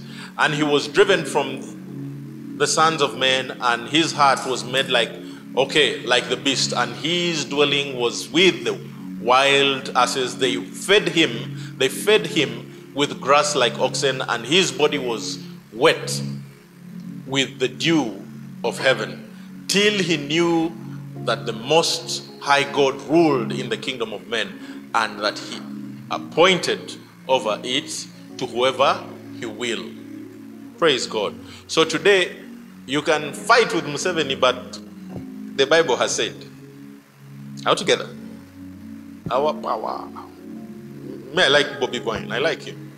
His name is like mine. Why won't I like him? Yeah? But any man that is in authority, even if he's bad, leave him to God. All together, God is able to bring a man down or lift a man up. And thou, his son, O Belshazzar, has not humbled thine heart, though thou knowest all this. 23. But thou hast lifted up thyself against the Lord of heaven, and they have brought the vessels of his house before thee, and thou and thy lords and thy wives and thy concubines have drunk wine in them. And thou hast praised the gods of silver and gold and brass and iron and wood and stone, which see not, nor hear, nor know. And the, the God in whose hand thy breath is, and whose are all thy ways, hast thou not glorified. Next, that is what I needed us to see. Then was the part of the land, of the, of the hand sent from him, and his writing was written. So we're saying when God writes to you, in this case, and his, and this is the writing that was written. Mene, mene, tekel, that one, Upharsin. This is the interpretation of the thing. Mene, God has numbered thy kingdom and finished it. Tekel, thou art weighed in the balances and, and, and, and art found wanting. Peres, the kingdom of the kingdom is divided and given to the to the Medes and Persians, the division of the kingdom. Those who know the, who know history, you know these stories. They then commanded Belshazzar, and they clothed Daniel with scarlet and put a chain of gold about his neck and made a proclamation concerning him that he should be the third ruler of the kingdom. In that night was Belshazzar, the king of the Chaldeans, slain. That night he was killed, he died. Next, 31, I think is the last verse. And Darius, the Median, took the kingdom, being about three score and two years old, 32 years old. Now, remember Darius, as you read on, you're going to find that Darius is, he, he served God, he believed God. So, when you refuse the script, the writings of God, he will write to you another letter. And if you refuse, he will send someone to take over. So, God, in effect, handed the kingdom over to Daniel and also brought another king who would serve. And Daniel continued to serve. I think he served with six kings, if I remember correctly. Praise God. So, Daniel was a politician that believed in God to a point that he was even greater than the prophets by way of revelation. The man gave you the end of the Bible before it was even written. So, you want to prophesy, you don't have to be called prophet. Just dig into the writings of God, dig into the instructions of God. You can even speak without conviction. Just say, the Bible says this, which means this is going to happen. You've not prophesied, but you've picked a prophetic word and given it life. You don't have to first feel. You don't have to have sung seven songs. You don't have to have a man of God around you. You just have to believe that God is the one who wrote this thing, and He that wrote them is the same one that causes them to come to pass. Praise God. And once you put that in you, you will find that ministry is simple. You'll find ministry is so simple. People will no longer threaten you. You'll no longer, when you have a dream, you'll not wake up shivering. Papa, I had a dream, I had a dream, Papa, Papa. That title, Papa, it is associated with problems. The moment someone starts, Papa, I know. All together. So we are teaching you the word. Accept the word the way it is. Don't try to add soup on it. The word is perfect the way it is. Just take the word. God has said this. Okay, it is true.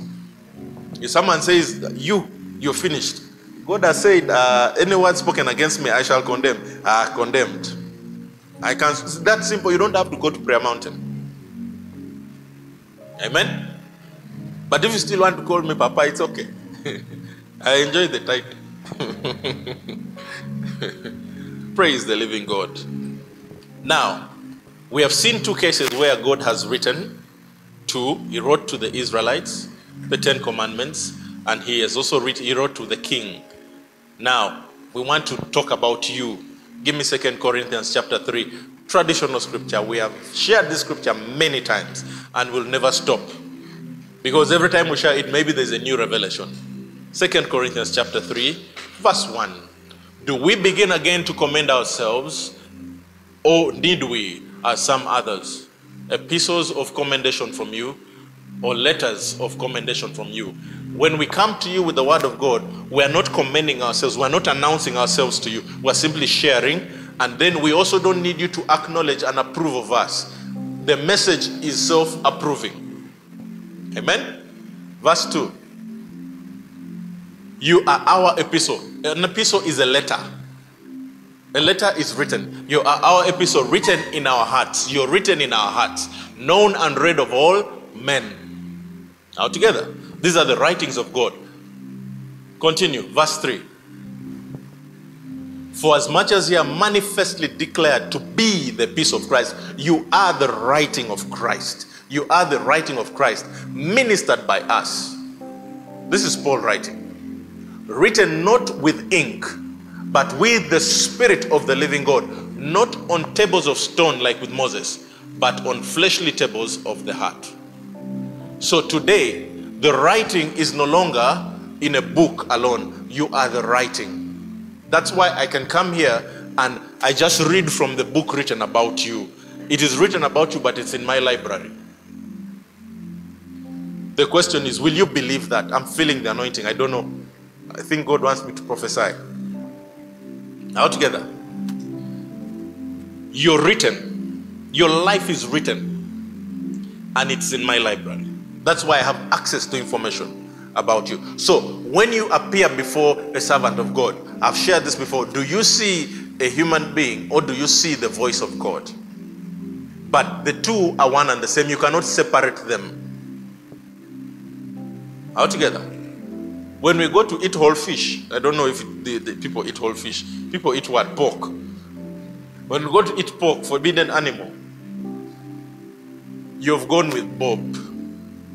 But in between eating, Bob can say, Thus says the Lord. So there, it is God. You still have to listen. Gone are, the, gone are the days. Those days, people used to fear servants of God, prophets. Not in this dispensation.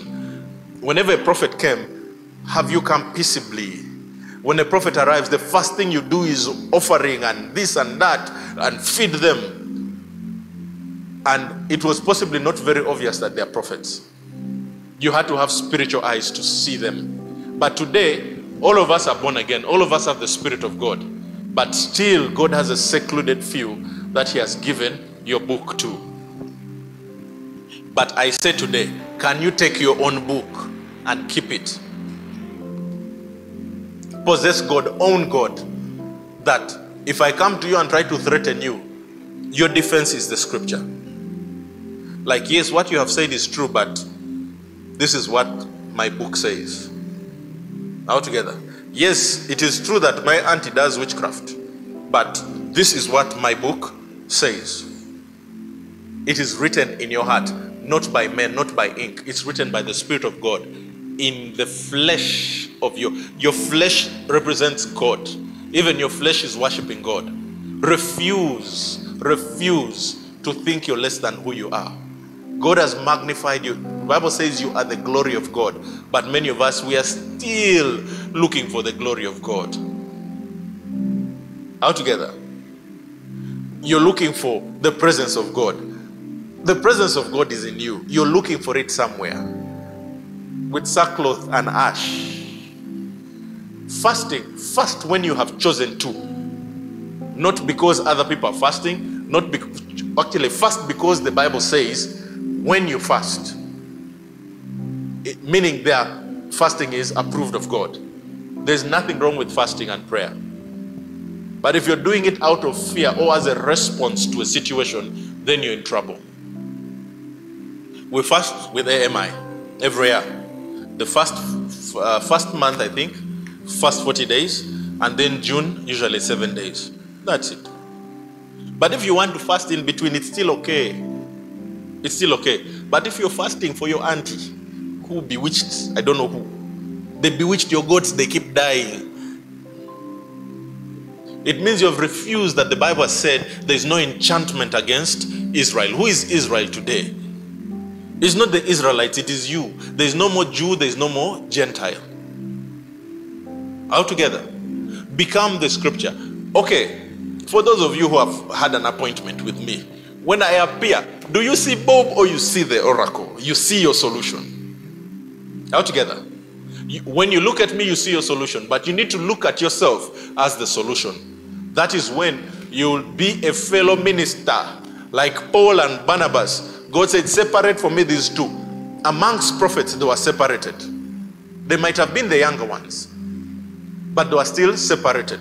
So these other prophets who remained, they did not do the work that Paul did, but they continued in their work also. So maybe you're called to be the prophet to Africa, but you're here under Uncle B, saying, ah, Papa, I'm waiting for Papa to say. I will not say. All together. Praise God. Workplace ministers. You're at your workplace, you don't want anyone to know you're born again, let alone prophetic. Because you don't want, you're shy. Aren't you like Moses who struck the rock instead of speaking? Don't be shy. I remember back then when I was working, there was a meeting. They asked, they said, Ah, Pastor, pray. My prayer, for most part, starts Father God. At the end of the prayer, the MD tells me, uh, you shouldn't pr- say Father, because for us, we don't recognize God as Father, and this, and he was a Muslim. He is a Muslim. From that day, I said, I'll not pray here. And it never happened again. If I'm not going to magnify my God here, I will not present him. It is your loss, not mine. Because for me, he's already mine. That's what I'm trying to tell you that make God your own. That even when Uncle B has not spoken, you're comfortable, you're peaceful. Even when they tell you don't pray, you, you've not lost anything. It is the loss of the ones who will not hear the words of grace. Amen? Praise the living God. Praise the living God. So God wrote to the Israelites, He wrote to uh, Belshazzar, and then you are the letter now. You're now the, the you're the Bible walking. You're the Bible walking. You're Jesus walking. You're God walking. The only thing is you're not is you're not the Holy Spirit walking, but you're filled with the Holy Spirit. So everything you speak is inspired. Praise the living God. Praise the living God. Now, now that you know you're the letter, everything you speak is a letter. We have now understood, right? Now, when I say when God writes on you and when God writes in you, you're now the letter walking. And we're going to read the scripture of a man who wrote a letter. Amen. Second Chronicles chapter 21. Give me verse 12. I'll read 12 to 15. Then I'll read 18 to 19. Something like that. And there came a writing to him. Okay, this about a king who his father was good, then him he became bad. He had brothers and sisters, and because he was the heir, he feared his brothers and sisters. The- those kings usually had many children, many wives. So he killed all his brothers and sisters, both the ones who had the, shared the same mother and those who didn't, because he wanted glory, wanted the throne to himself, leaving nobody. Now together, that is the background of the story. You can go and read the whole chapter. Now here it is. And there came a writing to him from Elijah the prophet, saying, Thus says the Lord God of David, thy father, because thou hast not walked in the ways of your of Je- Je- Jehoshaphat, thy father, nor in the ways of Asa, king of Judah. 13 but has walked in the way of the kings of Israel, and has made Judah and the inhabitants of Jerusalem to go a whoring, as in worshipping other gods, like to the whoredoms of the house of Ahab, and also has slain thy brethren of thy brothers, of thy brothers, of thy father's house, which were better than yourself. Praise God. So it was clear that his insecurity caused him to kill other people. So today, many servants of God, they fight other ministers because of their internal insecurities. So when you find a man of God fighting people, leave, leave that man of God alone. The problem is theirs, not yours. Behold, with a great plague will the Lord smite thy people, and thy children, and thy wives, and all thy goods. 15. And thou shalt have great sickness by the disease of thy bowels, until thy bowels shall fall out by reason of the sickness day by day. This was a letter written to the king by Elijah the prophet. So you are the letter now. You are the one that has the right to write, right? So when you write, your word will come to pass. Some of you, hey, Papa, Papa, even when you, it sends a text, you will heal. It's in the Bible. Now you know it's not witchcraft, right? That, ah, Papa, I, I tried to call, he didn't pick, but the moment the phone went, the headache left. Hey. All together, you're in contact with grace. Grace is not Bob. Grace is what you have believed in your heart. The word you have believed in your heart. There's somebody disturbing me. Your leg, your left leg is paining. Put up your hand if you're here. Whose left leg is hurting? Yeah, you're torturing me. In the name of Jesus, be healed. Is the pain still there? You're looking, eh? Get him, get to him. So, have we understood now? Now, give me verse 18 and 19 while you get to him. And after all this, the Lord smote him or killed him in, in his bowels with an incurable disease. 19. And it came to pass that in the process of time, after the end of the two years, his bowels fell out.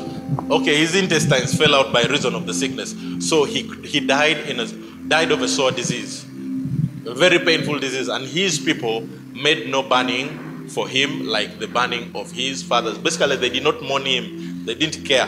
They're like this guy, uh, Los. Is your leg still hurting? It's gone. It's gone. Eh? Now, when you're sick, if I'm truly a shepherd, I'm supposed to feel it. Eh? So you people who are always hurting, depressed, what? Imagine what you do to me. I have 50 depressed people in my heart. It is very painful. You will not understand what I'm saying until you go through it. I'm sure you've been through it. Even you. you know, like you, you may think that we enjoy serving God. Okay, okay, we enjoy serving God. But sometimes it's a punishment. I'll come here. If I don't like you and you have a problem, your problem becomes mine. So I have to first forgive myself for, for not liking you. Then I have to forgive you. Then we can now do the healing. It's word of knowledge. One of the graces God has given me is word of knowledge. It's very strong. That I get to feel actual pain, physical pain. It's not nice. Sometimes you're like, but God, am I the one who chose myself? Praise the living God. We're done. It's simple. But I can tell you now you need to fast for three days and go to prayer mountain and all that. That's hard work. The pain is gone. Amen. I, what I'm doing here is I'm trying to ensure that your mind arises to God's cause, arise to God, that God is instant. God is now. God is now. All together. If ever you have a challenge, if it's your first time to hear me, just beep my number. I'll not call back, but the problem will go. It's called beeping, right? You know, English evolves. Nowadays, if you beep, then I don't know. With all the, the, the benefits they have given us, is it buy how many thousand minutes? Just buy once for the whole month. You'll never have to beep anyone. Praise God. Let there be increase in all your lives in the name of Jesus. Amen.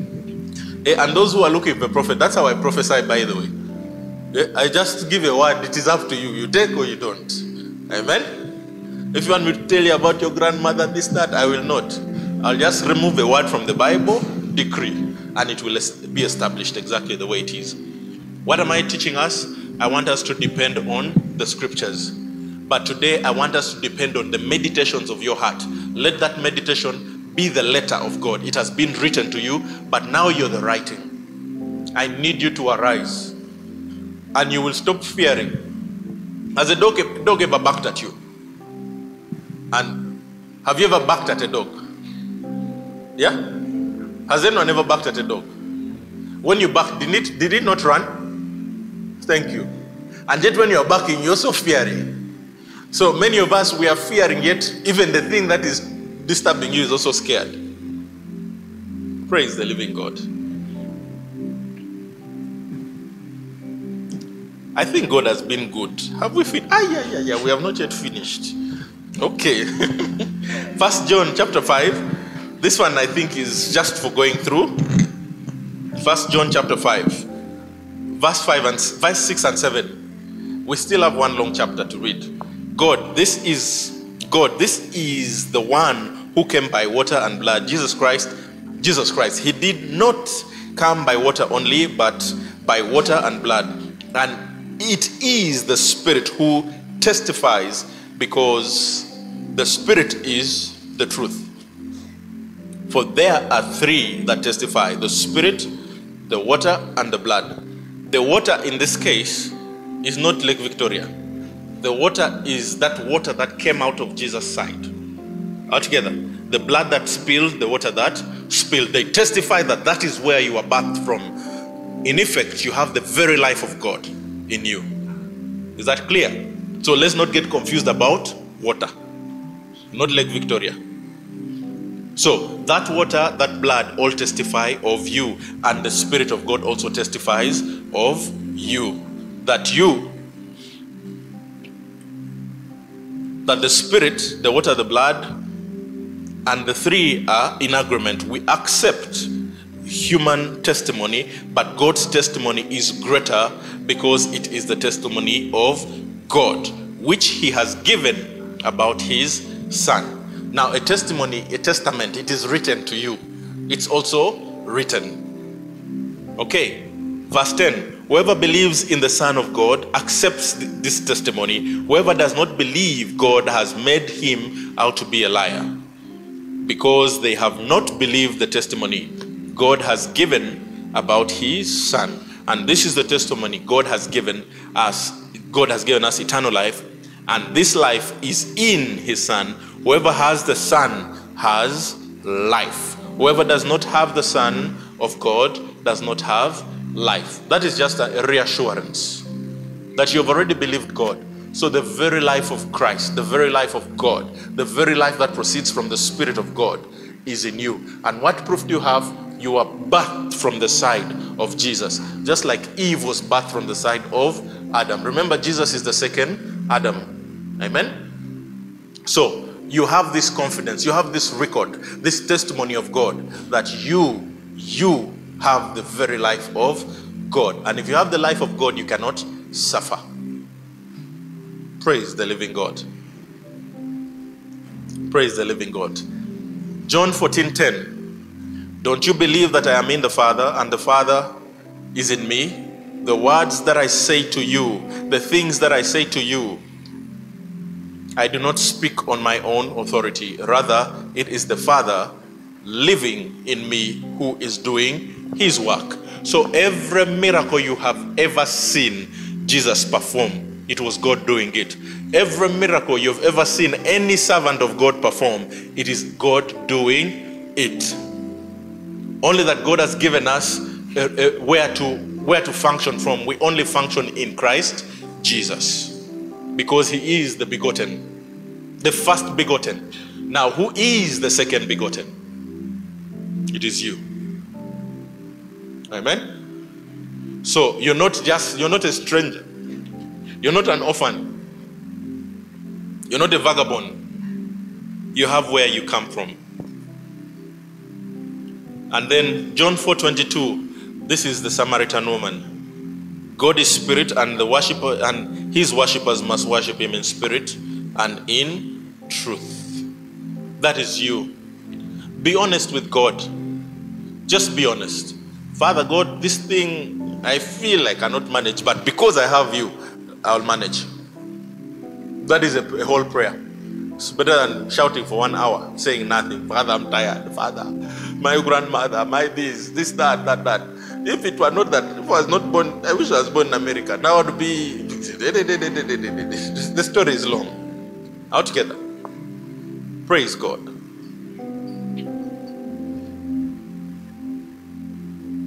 Praise the living God.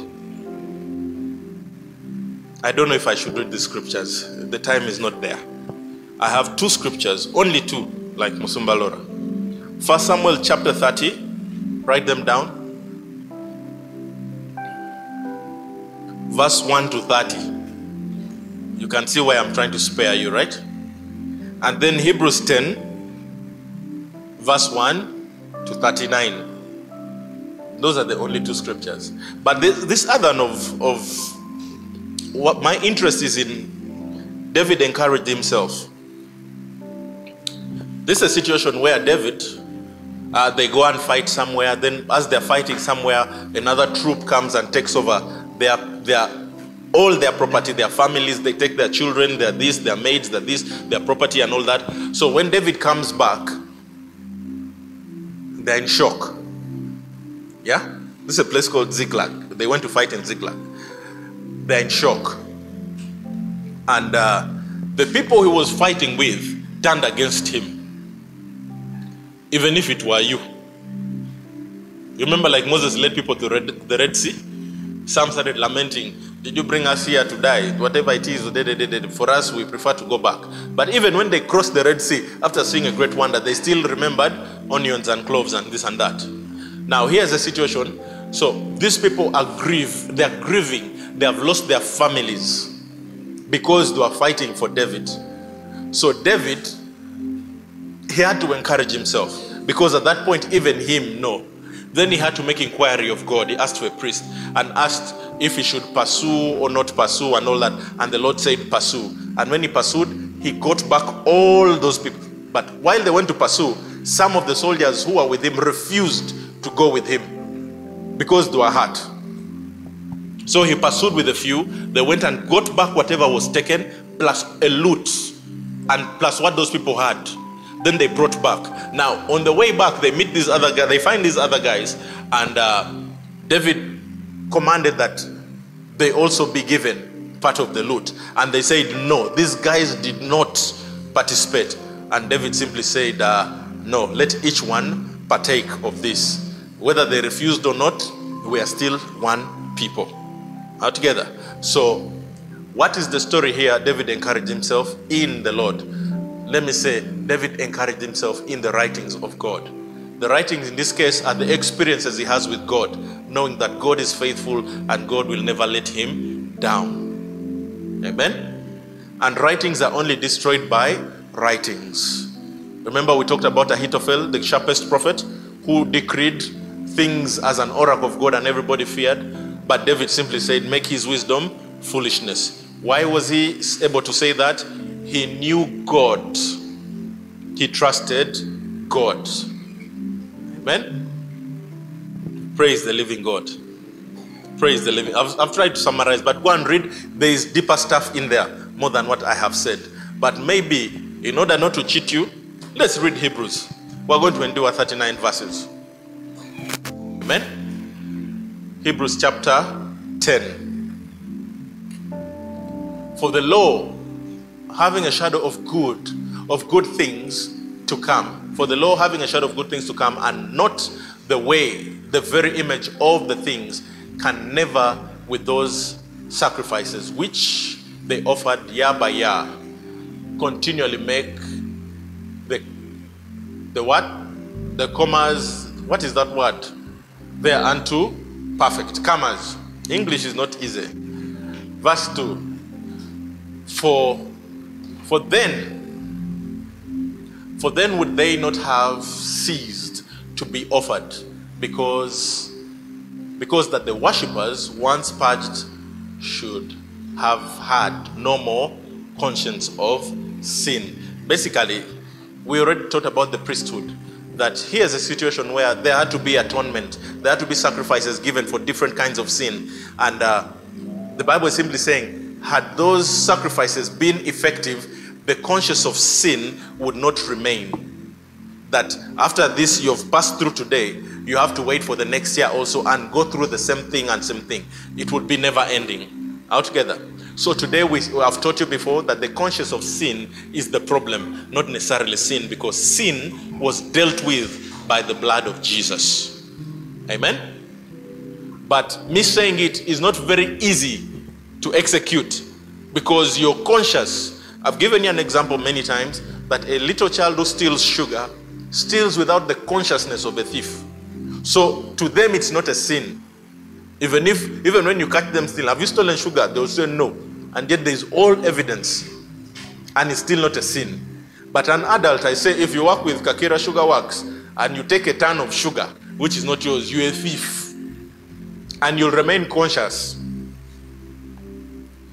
I know, ah, yeah, yeah, yeah, should I say? I know someone who stole money, a lot of money, and built properties. And whenever I'm with him, he's like, man, uh, me, uh, Matt, at least I benefited. Altogether. Let me stop there. I'll not tell the story any further than that. Okay, but in those sacrifices, there is a remembrance again made of sin every year. So every time you're making a sacrifice, you're keeping sin consciousness alive. And the Lord is saying, No, I blotted this thing out. Blotting out is writing away, rubbing away the, the, the, the writing. That is what we are alluding to today. He rubbed away the writing against you, but we have refused to let go of this thing. Next, for it is not possible that the blood of bulls and of goats should take away sins. Wherefore, when he comes into the world, he says, Sacrifice and offering thou would, would, wouldest not, but a body hast thou prepared for me. That's the body of Jesus, the only worthy sacrifice. In burnt offerings and, sacri- and sacrifices for sin, thou hast no pleasure. Then said I, I come in the volume of the book, it is written of me to do thy will, O Lord. That is my interest. Everybody has a writing about them. Jesus many times said, This day is this word fulfilled in your presence. Amen. Praise God. Verse 8. Above when above when he said, Sacrifice and offering and burnt offering and offering for sin, thou would not, neither had thou pleasure therein, which are offered by the law. So remember the law. I said the law, if you follow God by the law, you will never be able to worship him because the law reminds you it brings back the consciousness of your failings All together praise god every time you see a policeman and you're not wearing a seatbelt you start panicking praise god every time there's traffic jam and you see a policeman you're like these guys again but maybe i'm telling you what i say praise the living god and they're the ones who cause jam. a bit. Okay. Brenda is laughing at me. It's okay. then said he, I come to do the will, O God, to do thy will, O God. He hearken, he, he taketh away the first, that he may establish the second. That is clear, right? the, the law is fulfilled. The law is a small part. Then there's also the prophets. But all those are good for our learning, for reproof, for counseling, for guidance. But today, he has taken that away and is saying, remove sin consciousness from yourself and strive toward the written message to you. And now you're the message, you're the writing. So lean towards perfection.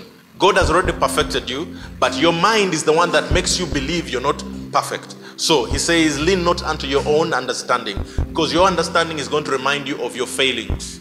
And then when in P1, when you are number one in class, and in S4 and you're number 50, you cannot start claiming, but me, I used to be number one, I'm still bad. No. You're defined by what you know now, not what you know then. If you grow up in the village and you are very poor, and now you're rich, you cannot say, Me, me, I'm poor. No, that was then. This is now. I know someone who was a Ugandan and now they're an American, but they are here. Praise the living God. And some of you want to go there, but you have one here. Just tap grace. Then said he, okay, verse 10 by the which, by the which will we,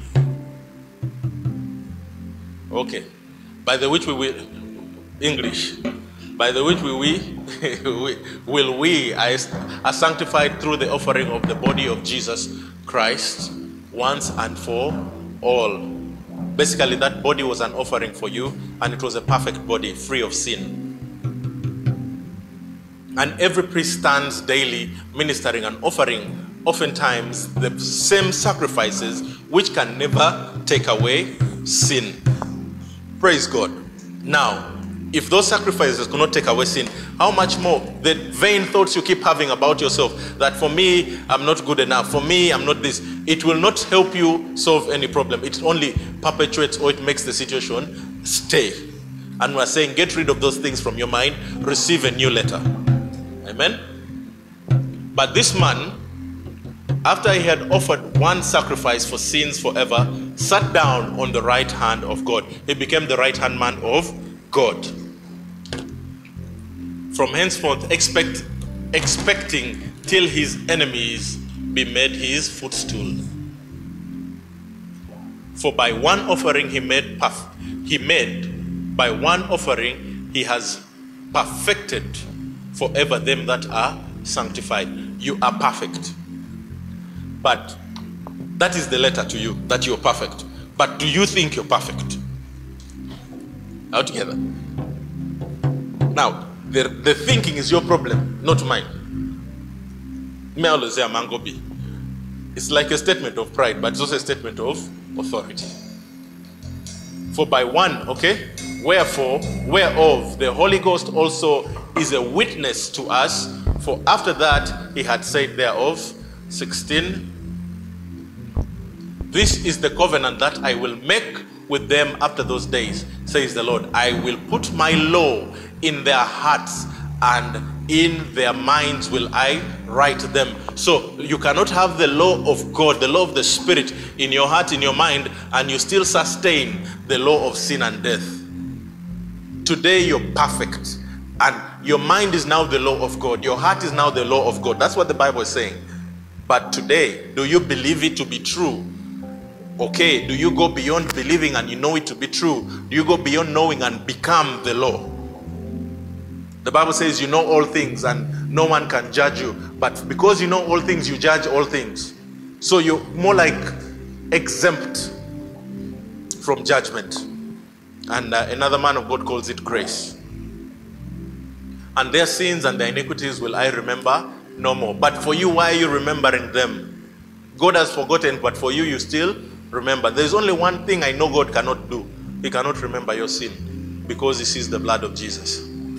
But for us, we're still saying, but God, man, you, you know, yesterday, you know. Many times that gospel of repentance, you come repenting, but you're not repenting, you're actually reminding yourself of the things you have done wrong. Am I lying? Go. Go. You see, for two hours you're calling God. I don't know from where. I, what what is the word in repentance? What? Hey, People on the ground, bah, bah, bah, bah, bah. I see them. I've, I used to work at Namboole, and you know that was a place for prayer. I stand at the window and be like, now these people are suffering, suffering. Out together. But it feels good when you speak in that voice. It just feels good. You feel like God is near you. You feel goosebumps, but God is very far. He's telling you He has forgotten. But for you, in your repentance, you're remembering. Is not isn't that what repentance does? Repentance is to turn away from. You you are- you are born again. You're already already been turned away, and we're saying you're simply bringing remembrance to yourself by doing, by speaking. Praise the living God. Now, where remission of this is, there is no more offering for sin. That repentance, that coloring you talk about, is no longer, is now useless. Just say, God, Father God, I did wrong, but I'm made right in your presence. And this day forth, I continue to walk because you walk. That's a simple prayer. I'm making things look easier, right? But as they look easier, practice them and you'll actually feel, you'll get to f- know that it is actually easier. Amen? Having therefore, having therefore, brother, having therefore, brethren, boldness to enter into the holiest by the blood of Jesus. Today, how many have been to the Holy of Holies? Like Papa, those things of the Old Testament. Having boldness. When your conscious, conscience or consciousness is, you're, when you're God conscious, you have boldness for everything. When you're God conscious, you have boldness for everything, even in the face of adversity. Even when you see giants, you still say, That is my promised land. You can do like David, that this man, I had a pact with him that I will not harm him, but you, Solomon, when I go, you kill him. You might not execute, but today a word was given to Mama about f- fruit, this and that and that. Me, I know about it. I even know the person who is going to do it. But it only comes through her. As long as the children are obedient, the blessing flows. By the God is funny. you can grow big muscles and say, Ah, now, Mama, you old, you don't know. Go away. Your blessing can bypass you just like that. All together. All, whatever he said is true. I, at least I'm aware of it. Not from the spiritual. I've had conversations with some of your children, and those are the plans. So when he said it, I'm like, hey, God was in our conversation. Praise God. By a new and living way, which he has consecrated for us through the veil, that is to say, his flesh. The flesh of Jesus is the veil, is the access that was given to us into God. So never think of the veil as a curtain. The veil was beaten, it was torn, it was put apart for your sake. And having a high priest ever in the house of God is no longer a priest who comes outside and goes in. He's there, he's fixed, he'll never move. Let us, and guess what? If Jesus is fixed in the presence of God, then where are you? If Jesus lives in you. Altogether, you're fixed in the presence of God, but many of us are looking for the presence of God somewhere. And there's wrong teaching that God is only here. God is in you. God is only in you. Get, put it in your head that God is only in me. And once you know God is only in you, you'll be able to recognize God in me also. Altogether.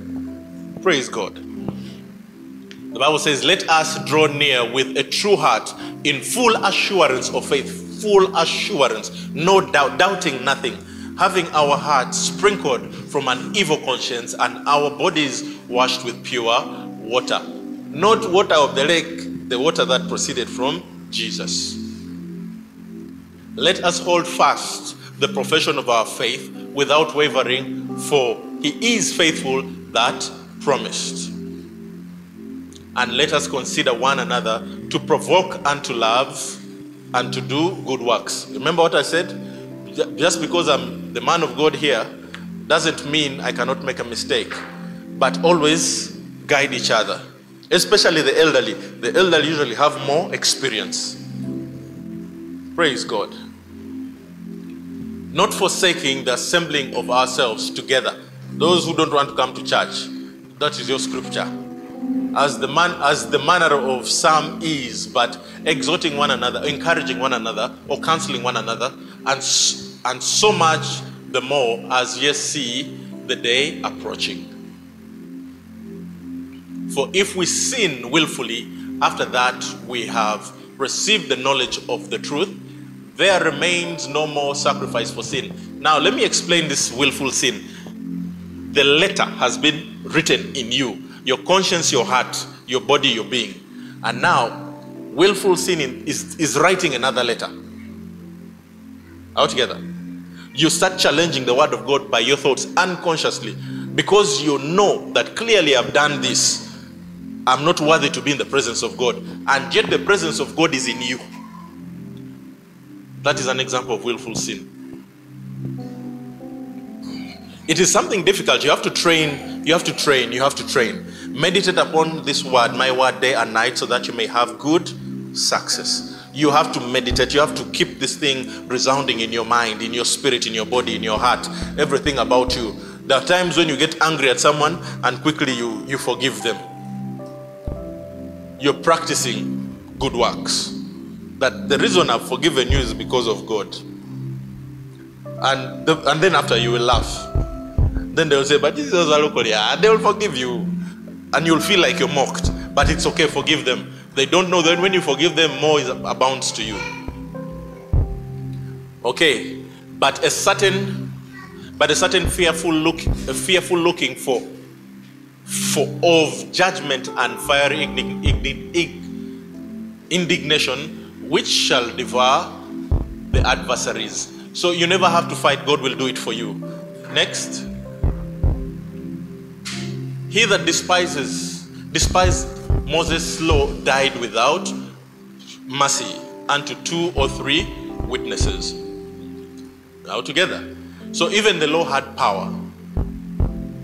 And now here it is of how much sorrow, how great a punishment, suppose ye shall be brought worthy, who has trodden under the foot the Son of God, and has counted the blood of the covenant wherewith he was sanctified an, an unholy thing, and has done despite unto the Spirit of grace. Okay, now for you who has received a certain grace, for you to walk away from that knowledge that you have, that faith that you have, for you to walk away from it, it's like putting Christ under your foot again and stamping over him. And God is saying that the kind of punishment you will receive is unbelievable. Remember, it, he's saying that it's worse than the law, that how the law killed. So people who died uh, by the law are better off than you who meets Christ and walks away. How do you walk away? The mind, the heart. So once let, let your mind be locked in God. Make up your mind once and do not turn left, do not turn right. That is what I'm saying. Praise God. 30. For we know him that has said, Vengeance belongs unto me, I will recompense, says the Lord. And again the Lord shall judge his people. Just hold it. This vengeance is not against evil people, it's against Christians who have turned against God if you keep it in context, right? Next. Okay. Now, this is the one. It is a fearful thing to fall into the hands of the living God. That one we all know, right? Because you can't report him to Satan. But now, Satan, you see, God, he has left me. There are those who try to threaten me. Me, me, I'm, me, I'm going to leave the things of, of Balokole. Because in church, people don't care. We are not called to care for you, God cares for you. Yes, we care for you, but don't intimidate us. Yeah? Don't try to intimidate us. There's somebody who left church because the pastor didn't pray. My God, I'll pray for everybody. She had uh, exams, so they called people who are going to do PLE and they prayed for them. They called people who are going to do O level, they prayed for them. People who were going to A level, they prayed for them. They didn't pray for the campusers. That is what Chester from church. The pastors don't care, they didn't pray for me. And God revealed these things to me spiritually. So when I spoke to her, I'm like, now you're angry at the man of God. He's not called to pray for you, pray for yourself. Fine, the pastor is called to pray for you. But if you're offended against him, you have no, he has no business with you. You'd rather come to me that, Uncle B, I'm not happy with you, but we'll touch here. All together. It's better. Because the Bible is clear that we offend many in our preaching, right? In TMS, if you're here for the first time, many times we're like, but this guy is over teaching. How do you teach for two hours? you may take offense, but don't be offended. It's still the word of God. Next, but call to remembrance the former days in which, after ye were illuminated, ye endured a great fight of affliction. When you seem to have turned away from God, just remind yourself you're one testimony away. You guys who have refused to testify, your testimony will remind somebody of God. That is how important your testimony is. Your testimony is a writing from God. God has written in you and on you, and you're supposed to display it for another so that they may be lifted up again. So do not refuse to testify. Some of you have big testimonies, but think if you testify, we shall come begging. No, even us, we have testimonies. All together. You receive a testimony, they gave you maybe 50 million shillings. Like, ah, if I tell these people, come and testify, it's okay. If anyone comes to beg, tell them to ask, come through me. All together. Because Christians are also not easy. Like, ah, now that we know you have 50M, you just lend me 15M. I'm going to do a thing and bring back. Don't. Doesn't the Bible say do not borrow? Eh, that one. Partly, whilst, whilst, whilst, there's a man of God who says, whilst, and I'm like, now he's confusing me. Okay, the word, the, what is the word? Whilst you were made a gazing stock both by reproaches and afflictions, and partly whilst ye became companions of them that were so used. Anything that was happening people were watching you. And you are the one that was used to advertise the thing, whether in pain, whether in success. We continue. For ye had companion of me in my bonds, and took joyfully the spoiling of your goods, knowing in yourselves that ye have in heaven, in a higher place, a better and an enduring substance. So, whatever you do here, whatever service you do, whatever giving you do, whatever meditations of the word you do, the time you've given to God, God is promising you that you have an everlasting substance waiting on you. But guess what? It is not in the future, it is now. The reward of God is ever present. He's a rewarder of they that diligently seek Him. Cast not away, therefore, your confidence, which has great recompense of reward. For ye have need, ye have need of patience, that after ye have done the will of God, ye might receive the promise. But no more are you going to receive a promise. You now are a partaker of the divine nature. You've already received the promise. Altogether, it's already received. These scriptures were written those days. That's why you need a voice today to remind you that this is now history. 37 For ye are for yet a little while, and he that shall come will come and will not delay. Now the just shall live by faith. But if any man draw back, my soul shall have no pleasure in him. That is God speaking to you. 39. But we are not of them that draw back unto perdition, but of them that believe to the saving of the soul. Praise the Lord. That is the word of the Lord.